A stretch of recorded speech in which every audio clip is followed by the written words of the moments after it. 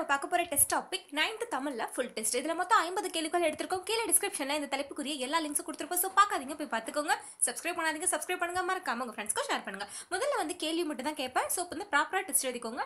அது முடிச்சதுக்கப்புறம் answer discussion இருக்கும். அதற்கான டைமிங் வந்து ஃபர்ஸ்ட் கமெண்ட்ல பின் பண்ணிருப்பேன். ஸோ நீங்கள் டைரெக்டாக கூட அதில் போய் பார்த்துக்கலாம். ஸோ இப்போ கேள்விக்குள்ளே போகலாம் முதல் கேள்வி பந்தர் பெயரிய பேரிசை மூதூர் என்ற பாடல் வரி இடம்பெறும் நூல். பந்தர் பெயரிய பேரிசை மூதூர் என்ற பாடல் வரிகள் இடம்பெறும் நூல். ஷார்ட்கட்லாம் வந்து ஆன்சர் டிஸ்கஷனில் சொல்லுவேன் சரிங்களா? இரண்டாவது கேள்வி. பந்தர் பயந்த பலர்புகழ் முத்தம் என்ற பாடல் வரிகள் இடம்பெறும் நூல். பந்தர் பயந்த பலர்புகழ் முத்தம் என்ற பாடல் வரிகள் இடம்பெறும் நூல். ரெண்டுமே பந்தர் பந்தன் வருது இல்லைங்களா? உங்களுக்கு கன்ஃபியூஸ் ஆகக்கூடாது அப்படிங்கிறதுக்காக தான் வந்து சிமிலர் கொஸ்டினாக எடுத்திருக்கேன். எக்ஸ்பிளனேஷன் ஆன்சரில் சொல்வேன். அடுத்து மூன்றாவது கேள்வி. மேற்கு தொடர்ச்சி மலையிலிருந்து உருவான வேரியாறு கடலில் கலக்கும் இடத்தில் இயற்கையாய் உருவான துறைமுகம் எது? இது வந்து சேர நாட்டில் இருக்கு சரிங்களா? மேற்கு தொடர்ச்சி மலையிலிருந்து உருவான வேரியாறு கடலில் கலக்கும் இடத்தில் இயற்கையாய் உருவான துறைமுகம் எது? இதில் இதில் அடுத்தடுத்து மூணுமே சிமிலர் கொஷின்ஸ் எந்தெந்த ஆறு அந்த ஆறு கடலில் கலக்கிற இடத்துல எந்த துறைமுகம் இருக்குது அப்படிங்கிற மாதிரி. சரிங்களா? எழுதியாச்சு. அடுத்து நாலாவது கேள்வி. சோழவள நாட்டில் காவிரி ஆறு கடலில் கலக்கின்ற இடத்தில் வடகரையின் மேல் அமைந்துள்ள இயற்கை துறைமுகம் எது? சோழவள நாட்டில் காவிரி ஆறு கடலில் கலக்கின்ற இடத்தில் வடகரையின் மேல் அமைந்துள்ள இயற்கை துறைமுகம் எது?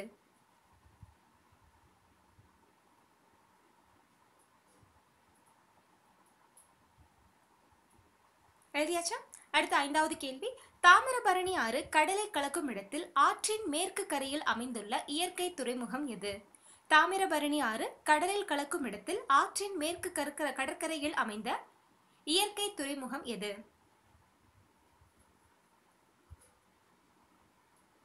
எழுதியாச்சு. இது மூணுமே வந்து எந்த ஆறு கடலில் கலக்கிறப்ப அதற்கு பக்கத்தில் இருக்க துறைமுகம் என்ன அப்படிங்கிற மாதிரி தான் ஆறாவது கேள்வி. ஸோ இதுலேயும் வந்து பார்த்திங்கன்னா ஒரு நாலு கொஷின் சிமிலராக இருக்கும். அதாவது என்னென்னா பட்டி மண்டபம் பட்டி மண்டபம்னு சொல்லிட்டு இந்த நாலு பாடல் வரிகளையுமே வரும். அது உங்களுக்கு வந்து கன்ஃபியூஸ் ஆகக்கூடாது அப்படிங்கிறதுக்காக அடுத்தடுத்து கொடுத்துருக்கேன். சரிங்களா? இப்போ ஆறாவது கேள்வி பார்க்கலாம். பட்டி மண்டபத்து பாங்கு அறிந்து எருமின் என்ற பாடல் வரிகள் இடம்பெறும் நூல். பட்டி மண்டத்து பாங்கு அறிந்து ஏறுமின் என்ற பாடல் வரிகள் இடம்பெறும் நூல்.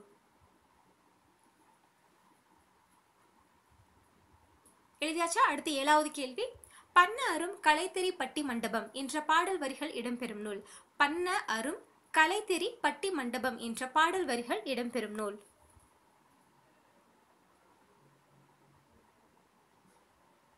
எழுதியாச்சா? அடுத்து எட்டாவது கேள்வி. மகத நன்னாட்டு வாழ்வாய் வேந்தன் பகைப்புறத்து தொ- கொடுத்த பட்டி மண்டபம் என்ற பாடல் வரிகள் இடம்பெறும் நூல். மகத நன்னாட்டு வாழ்வாய் வேந்தன் பகைப்புறத்து கொடுத்த பட்டி மண்டபம் என்ற பாடல் வரிகள் இடம்பெறும் நூல்.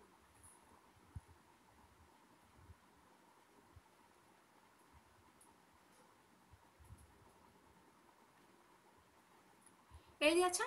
அடுத்து ஒன்பதாவது கேள்வி. பட்டி மண்டபம் ஏற்றினை ஏற்றினை எட்டினோடு இரண்டும் அரியணையே என்ற பாடல் வரிகள் இடம்பெறும் நூல். பட்டி மண்டபம் ஏற்றினை ஏற்றினை எட்டினோடு இரண்டும் ஏற்றின அரியணையே என்ற பாடல் வரிகள் இடம்பெறும் நூல். எழுதியாச்சா? ஸோ இதற்கான ஷார்ட்கட் எல்லாமே நான் ஆன்சர் டிஸ்கஷன் சொல்வேன் சரிங்களா? பத்தாவது கேள்வி. குறுந்தொகை நூலின் ஆசிரியர் யார்? குறுந்தொகை நூலின் ஆசிரியர் யார்?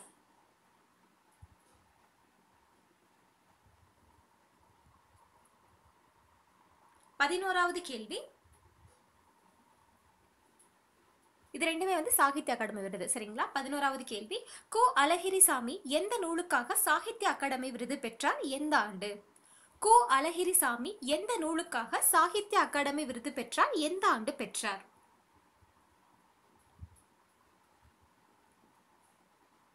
பன்னெண்டாவது கேள்வி. எழுதியாச்சா? பன்னெண்டாவது கேள்வி. தி ஜானகிராமன் எந்த நூலுக்காக சாகித்ய அகாடமி விருது பெற்றார்? எந்த ஆண்டு பெற்றார்? தி ஜானகிராமன் எந்த நூலுக்காக சாகித்ய அகாடமி விருது பெற்றார்? எந்த ஆண்டு பெற்றார்?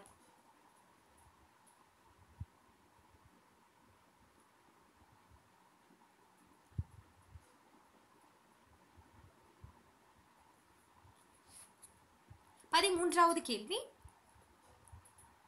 அவைப்பு மான் அரிசி அமலை வெஞ்சோறு கவைத்தால் அளவன் கவலையோடு பெருகுவீர் என்ற பாடல் வரிகள் இடம்பெறும். நூல் ஸோ இது வந்து ஒரு குறிப்பிட்ட நூல். அது என்ன நூல் எழுதுங்க. மறுபடியும் சொல்கிறேன் அவைப்பு மான் அரிசி அமலை வெஞ்சோறு கவலைத்தால் அவலன் கவலையோடு வெறுகுவீர் பெருகுவீர் என்ற பாடல் வரிகள் இடம்பெறும் நூல். ரெடியாச்சா?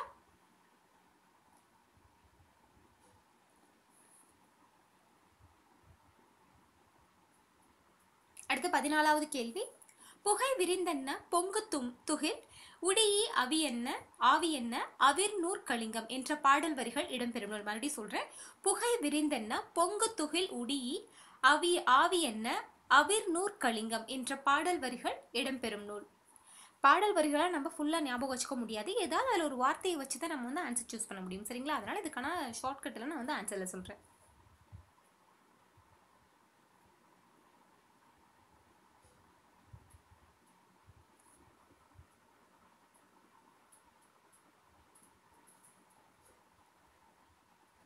எழுதியாச்சா?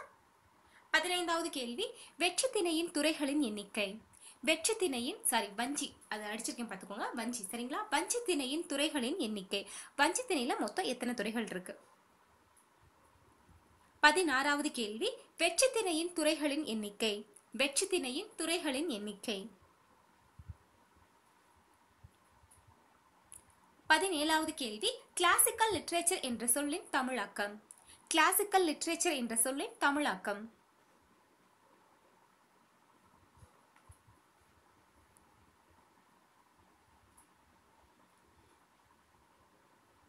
பதினெட்டாவது கேள்வி. ஃபோக் லிட்ரேச்சர் என்ற சொல்லின் தமிழாக்கம். ஃபோக் லிட்ரேச்சர் என்ற சொல்லின் தமிழாக்கம். பத்தொன்பதாவது கேள்வி.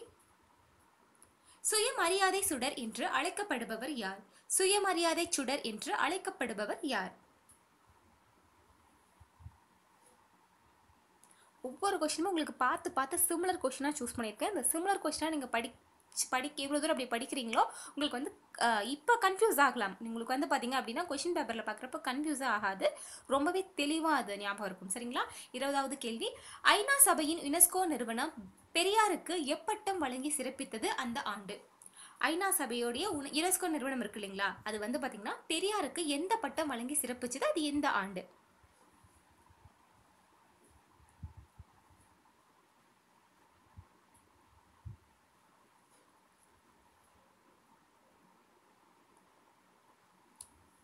எதையாச்சும் அடுத்து இருபத்தி ஓராவது கேள்வி.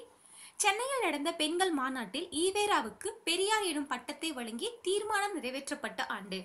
சென்னையில் வந்து ஒரு பெண்கள் மாநாடு நடந்து- மாநாடு நடந்துச்சு.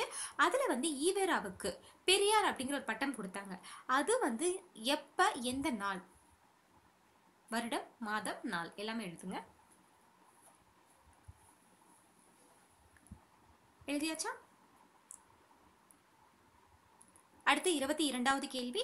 பெரியார் சுயமரியாதை இயக்கத்தை தோற்றுவித்த ஆண்டு. பெரியார் சுயமரியாதை இயக்கத்தை தோற்றுவித்த ஆண்டு.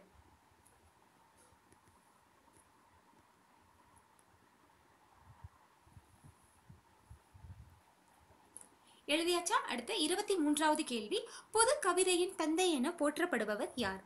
புது கவிதையின் தந்தை என போற்றப்படுபவர் யார்?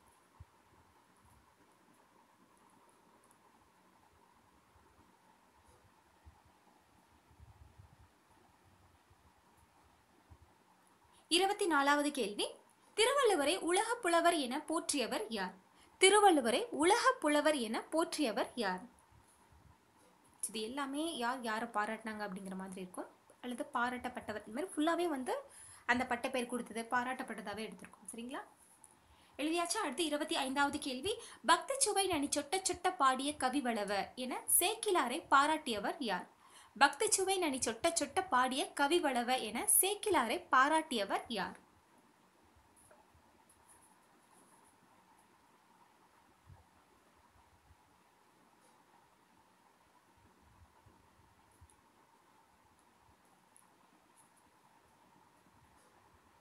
எழுதியாச்சா? அடுத்து இருபத்தி ஆறாவது கேள்வி. தண்டமிழ் ஆசான் சாத்தான் நன்னூர் புலவன் என்று சீத்தலை சாத்தனாரை பாராட்டியவர் யார்? கண்டவள் ஆசான் சாத்தான் நன்னூர் புலவன் என்று சீத்தலை சாத்தனாரை பாராட்டியவர் யார்?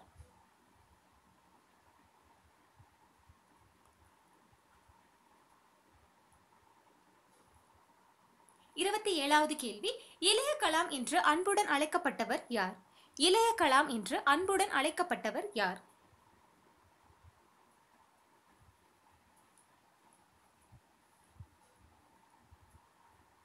எழுதியாச்சா? அடுத்து இருபத்தி எட்டாவது கேள்வி. தென்னகத்து பெர்னாட்சா என அழைக்கப்பட்டவர் யார்? தென்னகத்து பெர்னாட்சா என அழைக்கப்பட்டவர் யார்?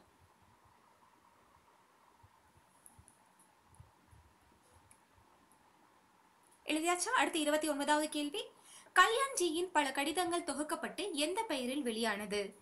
கல்யாண்ஜியின் பல கடிதங்கள் தொகுக்கப்பட்டு எந்த தலைப்பின் கீழ் வெளியானது?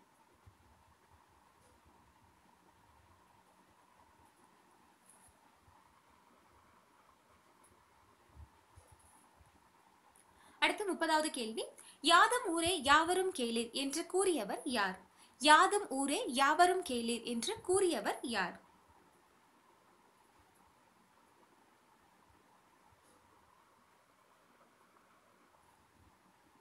எழுதியாச்சா? அடுத்து முப்பத்தி ஓராவது கேள்வி.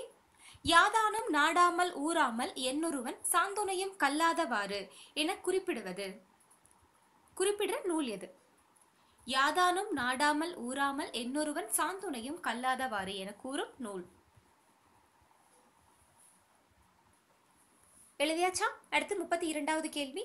தங்கைக்கு என்ற நூலின் ஆசிரியர் யார்? ஸோ இது வந்து கடிதமாக கூட இருக்கலாம் சரிங்களா? புக் பேக் பின்னாடி அந்த நூல் ஆசிரியர் அப்படின்னு கொடுத்துருப்பாங்க இல்லைங்களா? அந்த இடத்துல தங்கைக்குன்னு மட்டும்தான் கொடுத்துருக்காங்க சரிங்களா? அதை வச்சு நான் நூல்னு சொல்கிறேன் மேபி அது கடிதமாக கூட இருக்கலாம் சரிங்களா? தங்கைக்கு என்ற நூலின் ஆசிரியர் எழுதியாச்சா? அடுத்து முப்பத்தி மூன்றாவது கேள்வி. தம்பிக்கு என்ற நூலின் ஆசிரியர். தம்பிக்கு என்ற நூலின் ஆசிரியர்.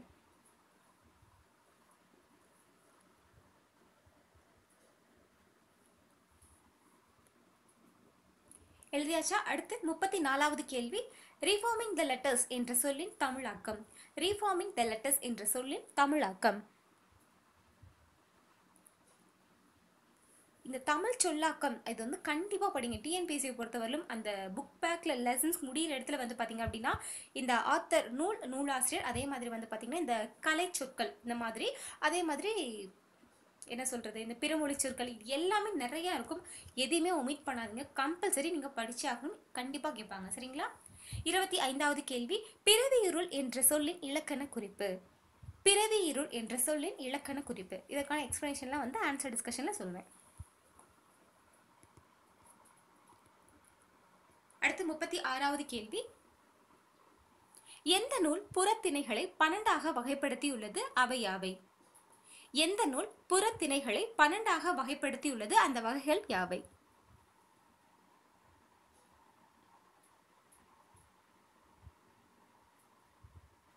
ஆன்சர் கொஞ்சம் பெருசா இருக்கும். எழுதி முடிக்காதவங்க ஸ்டா எழுதி முடிக்க முடியாது தான் ஸ்டாப் பண்ணிவிட்டு ஆன்சர் எழுதிட்டு அதுக்கப்புறம் மறுபடியும் ப்ளே பண்ணி பார்த்துக்கோங்க. அடுத்த கொஷின் முப்பத்தி ஏழாவது கேள்விக்கு போயிடலாம். தொல்காப்பியர் காட்டும் புறத்திணைகள் எத்தனை? அவையாவை தொல் இப்போ மேலே பார்த்தோம். மேலேயும் புறத்திணைகள் தான் பார்த்தோம். ஆனால் அது வந்து ஒரு பர்டிகுலர் நூல் வந்து புறத்திணைகள் பன்னெண்டுன்னு சொல்லி சொல்லுது. ஆனால் தொல்காப்பியர் வந்து புறத்திணைகள் வந்து கவுண்டிங் வேற சொல்கிறார் இவ்வளோ கவுண்டிங் அவர் வேற கவுண்டிங் சொல்கிறார் அந்த கவுண்டிங் எத்தனை? அது என்னென்ன? சரிங்களா?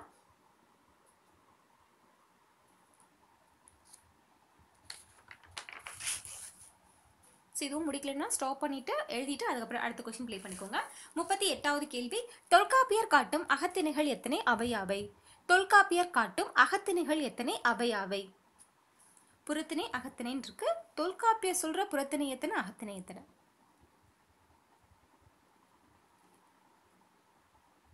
அடுத்து முப்பத்தி ஒன்பதாவது கேள்வி. நுண்பொருள் என்ற சொல்லின் இலக்கண குறிப்பு. நுண்பொருள் என்ற சொல்லின் இலக்கண குறிப்பு.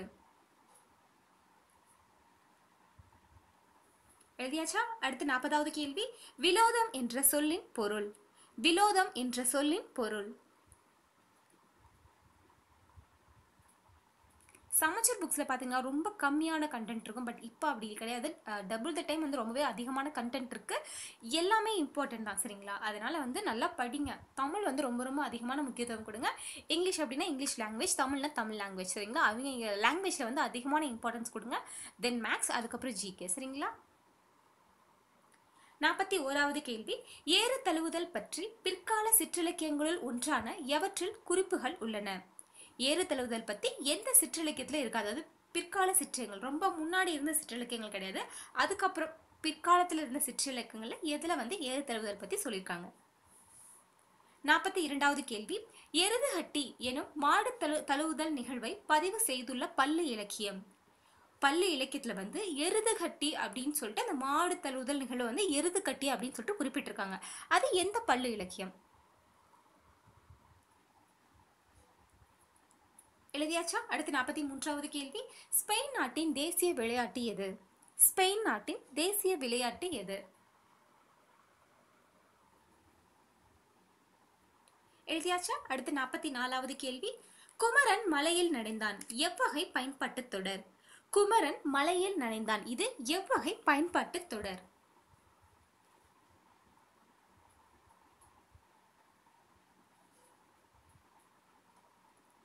எழுதியாச்சா? அடுத்து நாற்பத்தைந்தாவது கேள்வி. குமரன் மலையில் நனையவில்லை என்பது எவ்வகை பயன்பாட்டு தொடர்? குமரன் மலையில் நனையவில்லை. இது எவ்வகை பயன்பாட்டு தொடர்? ஸோ இதற்கான எக்ஸ்பிளனேஷன்லாம் வந்து ஆன்சர் டிஸ்கஷனில் சொல்வேன். எழுதியாச்சா? அடுத்து நாற்பத்தி ஆறாவது கேள்வி. திராவிட மொழிகளின் ஒப்பிலக்கணம் என்ற நூலின் ஆசிரியர் யார்? திராவிட மொழிகளின் ஒப்பிலக்கணம் என்ற நூலின் ஆசிரியர் யார்?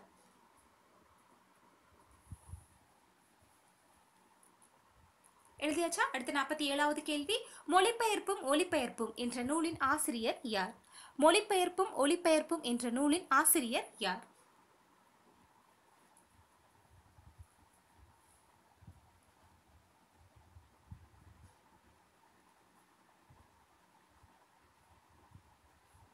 எழுதியாச்சா அடுத்து நாற்பத்தி எட்டாவது கேள்வி. தமாலம் என்ற சொல்லின் பொருள். தமாலம் என்ற சொல்லின் பொருள்.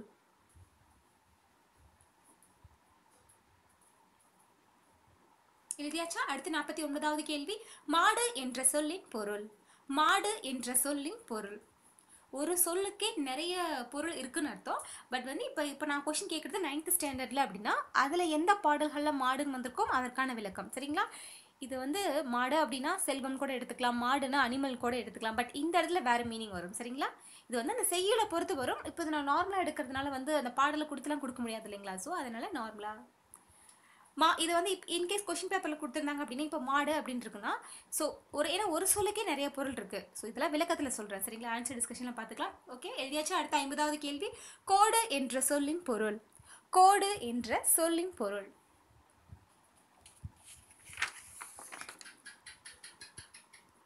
ஓகே இதான் பாருங்க. ஆன்சர்ஸ் நோட் பண்ணிக்கோங்க.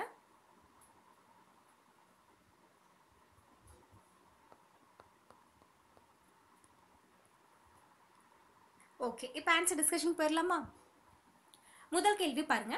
இது ரெண்டுலேயுமே வந்து பார்த்தீங்கன்னா ஃபர்ஸ்ட் லெட்டர் வந்து பார்த்தீங்கன்னா ஃபர்ஸ்ட் லைன் வந்து பார்த்தீங்கன்னா சிமிலராக இருக்கும் சரிங்களா? அதுதான் பார்க்க போகிறோம் பந்தர் பெயரிய பேரிசை மூதூர் என்ற பாடல் வரிகள் இடம்பெறும் நூல். ஆன்சர் என்னன்னா பதிற்று பத்து அப்படின்னு அர்த்தம். இது எந்த வார்த்தையை வச்சு ஷார்ட்கட்டை ஞாபகம் வச்சுக்கலாம் அப்படின்னா இந்த ரெண்டு லைன்லையுமே ஃபர்ஸ்ட் கொஸ்டினும் சரி செகண்ட் கொஸ்டினும் சரி ரெண்டுலையுமே பந்தர் பந்தர்னு வருதுங்க. டக்குன்னு இப்போ நீங்கள் ஏதாவது அட்லீஸ்ட் நீங்கள் அந்த பந்தர் மட்டும் ஞாபகம் வச்சுட்டு போனீங்க அப்படின்னா அல்லது நார்மலாக அப்படியே படிச்சுட்டு போனீங்க அப்படின்னா ஷார்ட்கட் இல்லாமல் படிச்சுட்டு போனீங்க அப்படின்னா எது உங்களுக்கு கன்ஃபியூஸ் ஆகிடும் சரிங்களா? ஆக்சுவலி ரெண்டுக்கும் ஒரே ஆன்சர் தான். ஒன்றும் பெருசாக ஒன்றும் இதுவும் இல்லை சரிங்களா? இன்கேஸ் அதுக்காக நான் சொல்கிறேன் சரிங்களா? பின்னாடி அடுத்தடுத்து வரதெல்லாம் நிறைய கன்ஃபியூஸ் ஆகிற மாதிரி இந்த பட்டி மண்டபம்லாம் இருக்கும் அந்த மாதிரி. அதெல்லாம் நிறைய கன்ஃபியூஸ் ஆகும் சரிங்களா? இது வந்து ரெண்டுக்கும் ஒரே ஆன்சர் தான் வரும் சரிங்களா? அதனால பெரிய விஷயம் இல்லைங்களா? சரி பாருங்கள் பந்தர் பெயரிய பேரிசை மூதூர் அப்படின்னா இதுக்கு எப்படி ஷார்ட்கட் ஞாபகம் வச்சுக்கலாம் அப்படின்னு சொல்லிட்டு பார்த்தீங்க அப்படின்னா ரெண்டுக்குமே வந்து ஒரே ஆன்சர் தான். ஆன்சர் வந்து என்னன்னா பதிற்று பத்து அதனால பந்தர் அப்படின்னா அந்த பா பா ஃபர்ஸ்ட் லெட்டர் ஞாபகம் வச்சுக்கோங்க சரிங்களா? பா பா சரிங்களா? ரெண்டாவது எழுத்து இந்துன்னு வருதா அது அப்படியே லைட்டாக தீ தான் மாத்திரமா தீன் வந்துடும் சரிங்களா? ஸோ பர்ஸ் லெட்டர் ஞாபகம் வச்சுக்கோங்க. பான் வருது அதனால பதிற்று பத்து ஞாபகம் வச்சுக்கோங்க. இல்லைன்னா இன்னொன்று ஷார்ட்கட் கூட ஞாபகம் வச்சுக்கலாம் சரிங்களா?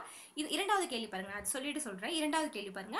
பந்தர் பயந்த பலர்புகழ் முத்தம் என்ற பாடல் வரிகள் இடம்பெறும் நூல். இதுக்கு ஆன்சர் வந்து பார்த்தீங்கன்னா பதிற்று பத்து தான். ஸோ ஃபர்ஸ்ட் கொஸ்டினுக்கும் செகண்ட் கொஸ்டினுக்கும் ஆன்சர் வந்து பதிற்று பத்து தான். இது எப்படி ஷார்ட்கட் ஞாபகம் வச்சுக்கலாம் அப்படின்னு பார்த்தீங்கன்னா பந்தரில் ஃபர்ஸ்ட் லெட்டர் வந்து பாவா பானா பதிற்று பத்து. இதை தாண்டி இன்னொரு வகையில் எப்படி ஞாபகம் வச்சுக்கலாம் அப்படின்னா ஃபர்ஸ்ட் கொஷினில் பார்த்தீங்கன்னா லாஸ்ட்டாக மூதூர் அப்படின்னு முடியும். மூதூர் அப்படின்னா என்னன்னா ரொம்ப வந்து ஒரு பழமையான பில்டிங் அல்லது பழமையான ஊர் அப்படின்னு சொல்லலாம். அது வந்து ஈஸியாக வந்து டக்குன்னு ஏதாவது இப்போ நிலநடுக்கம் வந்துருச்சு அப்படின்னா அந்த பழமையான ஊர் வந்து பார்த்திங்கன்னா ஈஸியாக டேமேஜ் ஆகிடும் ஸோ அதில் இருக்க பில்டிங்ஸ்லாம் இடிஞ்சிடும். சரிங்களா? மொத்தத்தில் மூதூர் பழமையான ஒன்றாவே டேமேஜ் ஆக நிறைய வாய்ப்பு இருக்குது அப்படி டேமேஜ் ஆனால் நம்மளுக்கு எப்படி இருக்கு? எப்படி இருக்கும்? பக்குன்னு ஆயிரும். ஸோ பக்கு பக்குன்னு இருக்கும். அதனால் பதிற்று பத்து அப்படின்னு ஞாபகம் வச்சுக்கோங்க. அடுத்து பாருங்க. அடுத்து பார்த்தீங்கன்னா லாஸ்ட்டாக பார்த்தீங்கன்னா பலர் புகழ் முத்தம் அப்படி முத்தம் அப்படின்னு இருக்கா? ஸோ அதுவும் வந்து பார்த்தீங்கன்னா ஒரு பதற்றப்படக்கூடிய விஷயம் தான் ஸோ அதனால் வந்து இதை வச்சு ஞாபகம் வச்சுக்கோங்க. நார்மலாக வந்து இந்த பந்தர் அப்படிங்கிற வார்த்தையை வச்சு பதிற்று பத்துன்னு எழுதிடுங்க சரிங்களா? அடுத்து மூன்றாவது கேள்வி. ஸோ இதில் மூணு நாலு அஞ்சு பார்த்தீங்கன்னா சிமிலர் கொஷின் என்ன அப்படின்னா எந்த ஆறு கடலில் கலக்கிறப்ப இப்போ பர்டிகுலர் ஆறு அது கடலில் கலக்கிறப்ப அந்த ஒட்டி வந்து பார்த்தீங்க அப்படின்னா ஒரு துறைமுகம் இருக்கும். சரிங்களா? இதில் ஃபர்ஸ்ட் பாருங்க தேர்ட் கொஷின் பாருங்கள் மேற்கு தொடர்ச்சி மலையிலிருந்து உருவான பேரியாறு கடலில் கலக்கும் இடத்தில் இயற்கையாய் உள்ள துறைமுகம் எது? ஸோ இது வந்து பார்த்தீங்கன்னா சேர நாட்டில் அந்த துறைமுகம் இருக்குது ஆன்சர் என்ன அப்படின்னு சொல்லிட்டு பார்த்தீங்கன்னா முசிறி. ஆன்சர் வந்து பார்த்தீங்கன்னா முசிறி. சரிங்களா?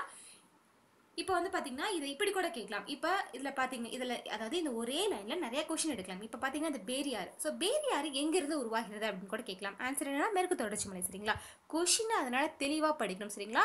ஏன்னா கண்டென்ட் வந்து நிறைய இருக்கனால வந்து நம்ம தெளிவாக படித்தா மட்டும் தான் நமக்கு ஞாபகம் இருக்கும் சரிங்களா? இப்போ மேற்கு தொடர்ச்சி மலையிலேருந்து உருவாகிறதா வந்து பேரியார் அந்த பேரியாரும் ஒரு ஆறுனாவே கடலில் கலக்கும் இல்லைங்களா? எப்படி? மேற்கு தொடர்ச்சி அதாவது அந்த மேற்கு இது எப்படி ஞாபகம் வச்சலாம் அப்படின்னா அந்த மேற்கு தொடர்ச்சி மலைங்களா இந்த ரெண்டு கால் கால் வருது இல்லைங்களா? ஸோ அந்த கொம்பு இருக்குல்ல ரெண்டு கொம்பு வருதா? அதே மேற்கு அதே மாதிரி பேரியார் பேரியாறுலேயும் அதே மாதிரி ரெண்டு கொம்பு வருது. இதை வச்சு பேரியாறு எந்த மலையில உற்பத்தி ஆகுது அப்படின்னா மேற்கு தொடர்ச்சி மலைன்னு கண்டுபிடிச்சுக்கோங்க சரிங்களா? இப்போ மேற்கு தொடர்ச்சி மலையிலிருந்து பேரியாறு உருவாகுது. அந்த பேரியாறு ஒரு கடலை போய் கலக்குது. அந்த கடத்துல கடல்ல வந்து பாத்தீங்கன்னா ஆக்சுவலி அந்த துறைமுகம் வந்து இயற்கை துறைமுகம். அதையும் நல்லா நோட் பண்ணிக்கணும் சரிங்களா? இயற்கை துறைமுகம் சரிங்களா? அந்த அந்த இடத்துல உருவான அந்த துறைமுகத்துக்கு பெயர் என்ன அப்படின்னு சொல்லிட்டு பாரு. துறைமுகம்னா என்னங்க? அதாவது பொருளை ஏற்றுமதி இறக்குமதி செய்கிற இடம். சரிங்களா? அதுவும் மட்டும் இல்லாமல் கப்பல்கள் வந்து நின்று போகிற இடம் தான் வந்து துறைமுகம். சரிங்களா? அங்கே தான் வந்து கலங்கரை கலங்கரை விளக்கம் இருக்கும். ஸோ மொத்தமாக வந்து துறைமுகம் அப்படிங்கிறது கப்பல் ஏற்றுமதி இறக்குமதி பண்ணுற ஒரு காமனான பிளேஸ் சரிங்களா? அதுதான் வந்து துறைமுகம். சரிங்களா?